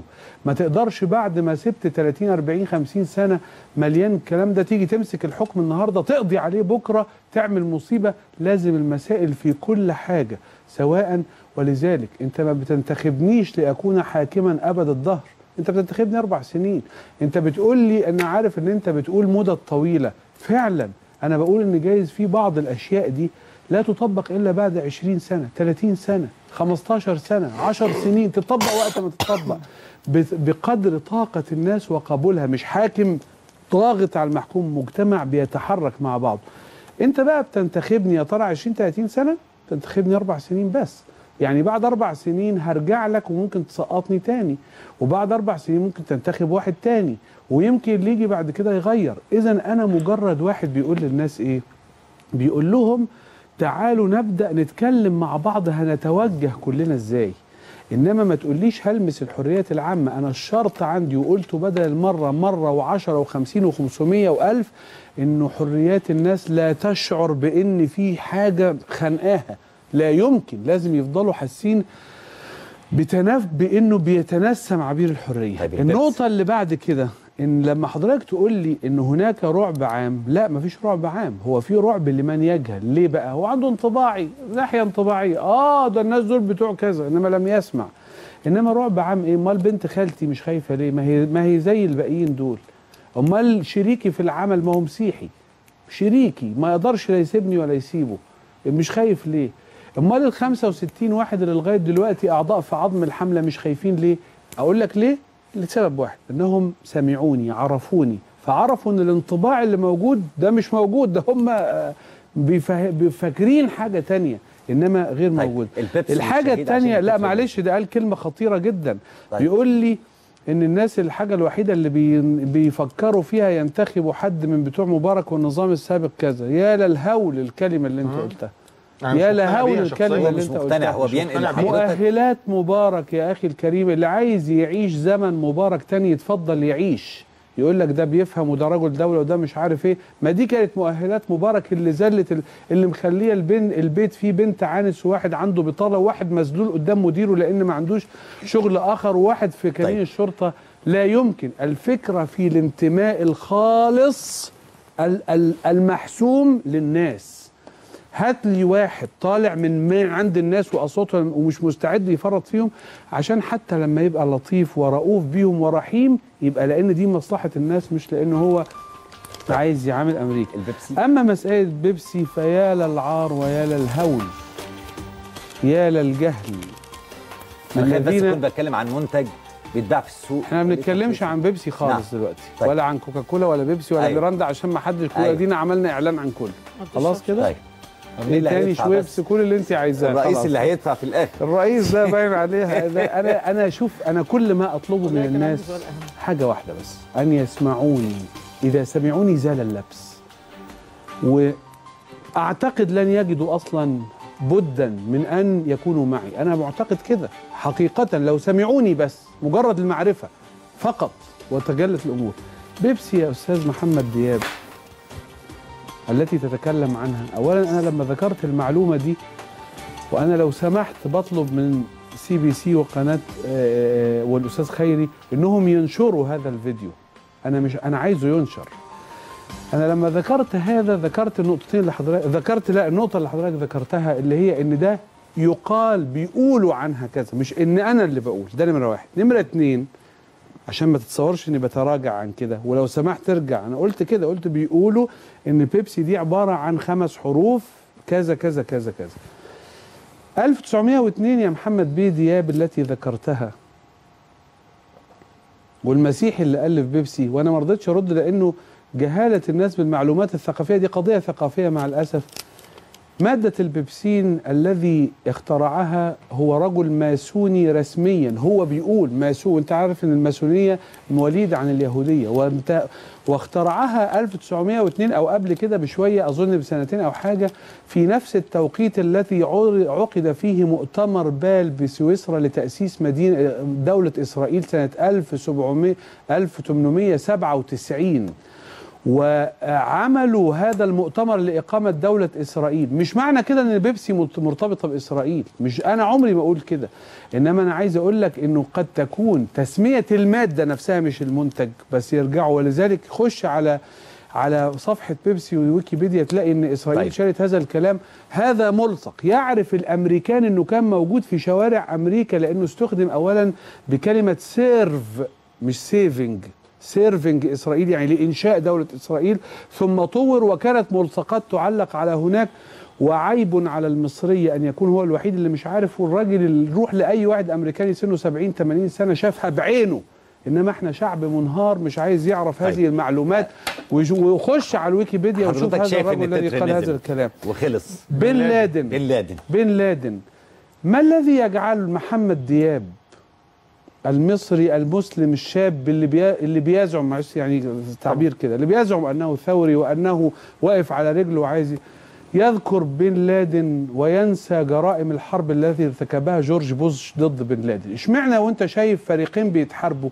لو ده عمل جرائم وده عمل جرائم اشمعنى أنتوا وصلتوا إلى هذه الدرجة أنك تتكلم بس عن اللي بيزعم عدوك أنه مجرم في قومك وتترك من ارتكب الجرائم وهو لو كانت أمريكا عضو في الاتفاقيات الدولية لمحاكمة مجرمي الحرب كان جورج بوش يساق إلى هذه المحاكم. كان يجب عليك وأنت بتكلمني عن بن لادن إنك تكلمني عن بن لادن وبو- وبوش. ومع ذلك أنت قلت تربويا يا شيخ حازم أنا عايز أتعلم منك. تقول لي ألم يكن الأقدر في السياق وأنت بتذكر بن لادن؟ إنك تذكر كمان اخطائه من فضلك يا أستاذ محمد دياب يا من آلمتني في نهاية هذه الحلقة لأن هذا الكلام ارجع للنص وأنا بطلب من سي بي سي والأستاذ خيري أذاعهم. هو ينشرهم ويذيعهم إنك تقول برغم اختلافي معه في الرأي. أنا قلت هذا الكلام قلت برغم إنه ما فعله أنا مختلف معه في الرأي إنما هذا لا ينفي إنه إذا قتل العدو واحدا من الموحدين من المسلمين فإنه يكون شهيد. وما يمنعش من كده إن أنا مختلف معاه في الرأي أو إن أنا شايف اللي بيعمله صح أو غلط. قلت هذا الكلام نصا. فلو سمحتوا لما تيجوا تكلموني ارجعوا إلى النصوص بدقة سواء في بن لادن أو في بيبسي أو أو أو أو. أما ما حدث في ميدان التحرير فأنا أقول لإخوانك اللي بيقولوا لك كده أنا لولا والله العظيم لولا الحرج من إنه دول منافسين ليا في الانتخابات إنما أنا أقول لهم انتخبوا هؤلاء الآخرين. أنت رأيت ما حدث في الغرف المغلقة. أنا أقول للناس انتخبوا. اللي أنتوا عايزين تنتخبوه انتخبوه. أنا أكون أخف الناس حملا يوم ما هسقط انتخبوا اللي أنتوا عايزينه. إنما أنا قلت ما أرى أنه ليس هناك إنقاذ لوطني. إلا به وستثبت لك الأيام ستثبت الأيام إن الوطنية المصرية هي اللي تشك إنها تنجرف كلية مش حتى باللي بيقول كلام وطني لا بصاحب العزم الفكرة مش في الكلام الصح إن صاحب عزم مش مستعد إنه يكنس رأيه أنا آسف حتى وهي أنا منهزمة. أنت قلت إن الشعب ده منهزم أنا بشكركم الشعب جدا مش منهزم الشعب إن أنا- شاء الله دلوقتي أنا منتصر. برجلت الخريطة بالكامل منتصر. أنا آه. أعرف إن لك الحق أنا فيه أنا المفروض بس أقول كلمتين بس و- كلمتين أيوة. آه، اولا تاني يا شيخ حازم أنا بح- بحبك ما تزعلش مني أنا من مش أي عايز حاجة. حد يحبني يا أخي محمد. طيب. أنا عايز حد يكون منصف وهو يطرح عشان. كده قلت الفيديوهات تتعرض وأنا مختلف مع رؤيتينك الاثنين اللي فيديوهين اعرضهم. وشايف إن الفيديوهين الاثنين لسه غلط وبيبسي ده كلام مش حقيقي خالص اللي حضرتك بتقوله بقولها على الهواء كلام مش حقيقي خالص وممكن. نتأكد 100% اعتبره غلط. اعتبره كله 100% غلط. إحنا بقينا شباب أقدر أبص على الإنترنت وأعرف كل حاجة. اعتبره الكلام ده غلط. مش موجود؟ وآخر حاجة؟ أنت اللي قايل 1902 هو أنا لل- اللي قايلها؟ أنت اللي. قايلها ولا أنا؟ أنت اللي قايلها. 1902 آه. إيه علاقة ال- بالموضوع الثاني عشان مش قبل 50 طب هو سنة. ده في التوقيت. 1902 ده طيب. تبع الإسرائيليين؟ طيب محمد لا. اللي أنا قلت لك إن التوقيت مش قبل 50 الجملة سنة. الأخيرة. م- اجتماع مرشحين ابقوا راجعوها على حضرتك. لمحت ليه كذا مرة كل على فكرة كل واحد طالع منه شايف إن هو الأصح. وإحنا ما أقدرش أقول و... يعني وأصبح القرار للشعب بس المصري. كده. أنا بشكركم جدا. وآسف ان سهرتكم واخرتكم بشكر حضرتك على سعه صدرك وعلى وقتك وعلى. حضورك وعلى كل شيء.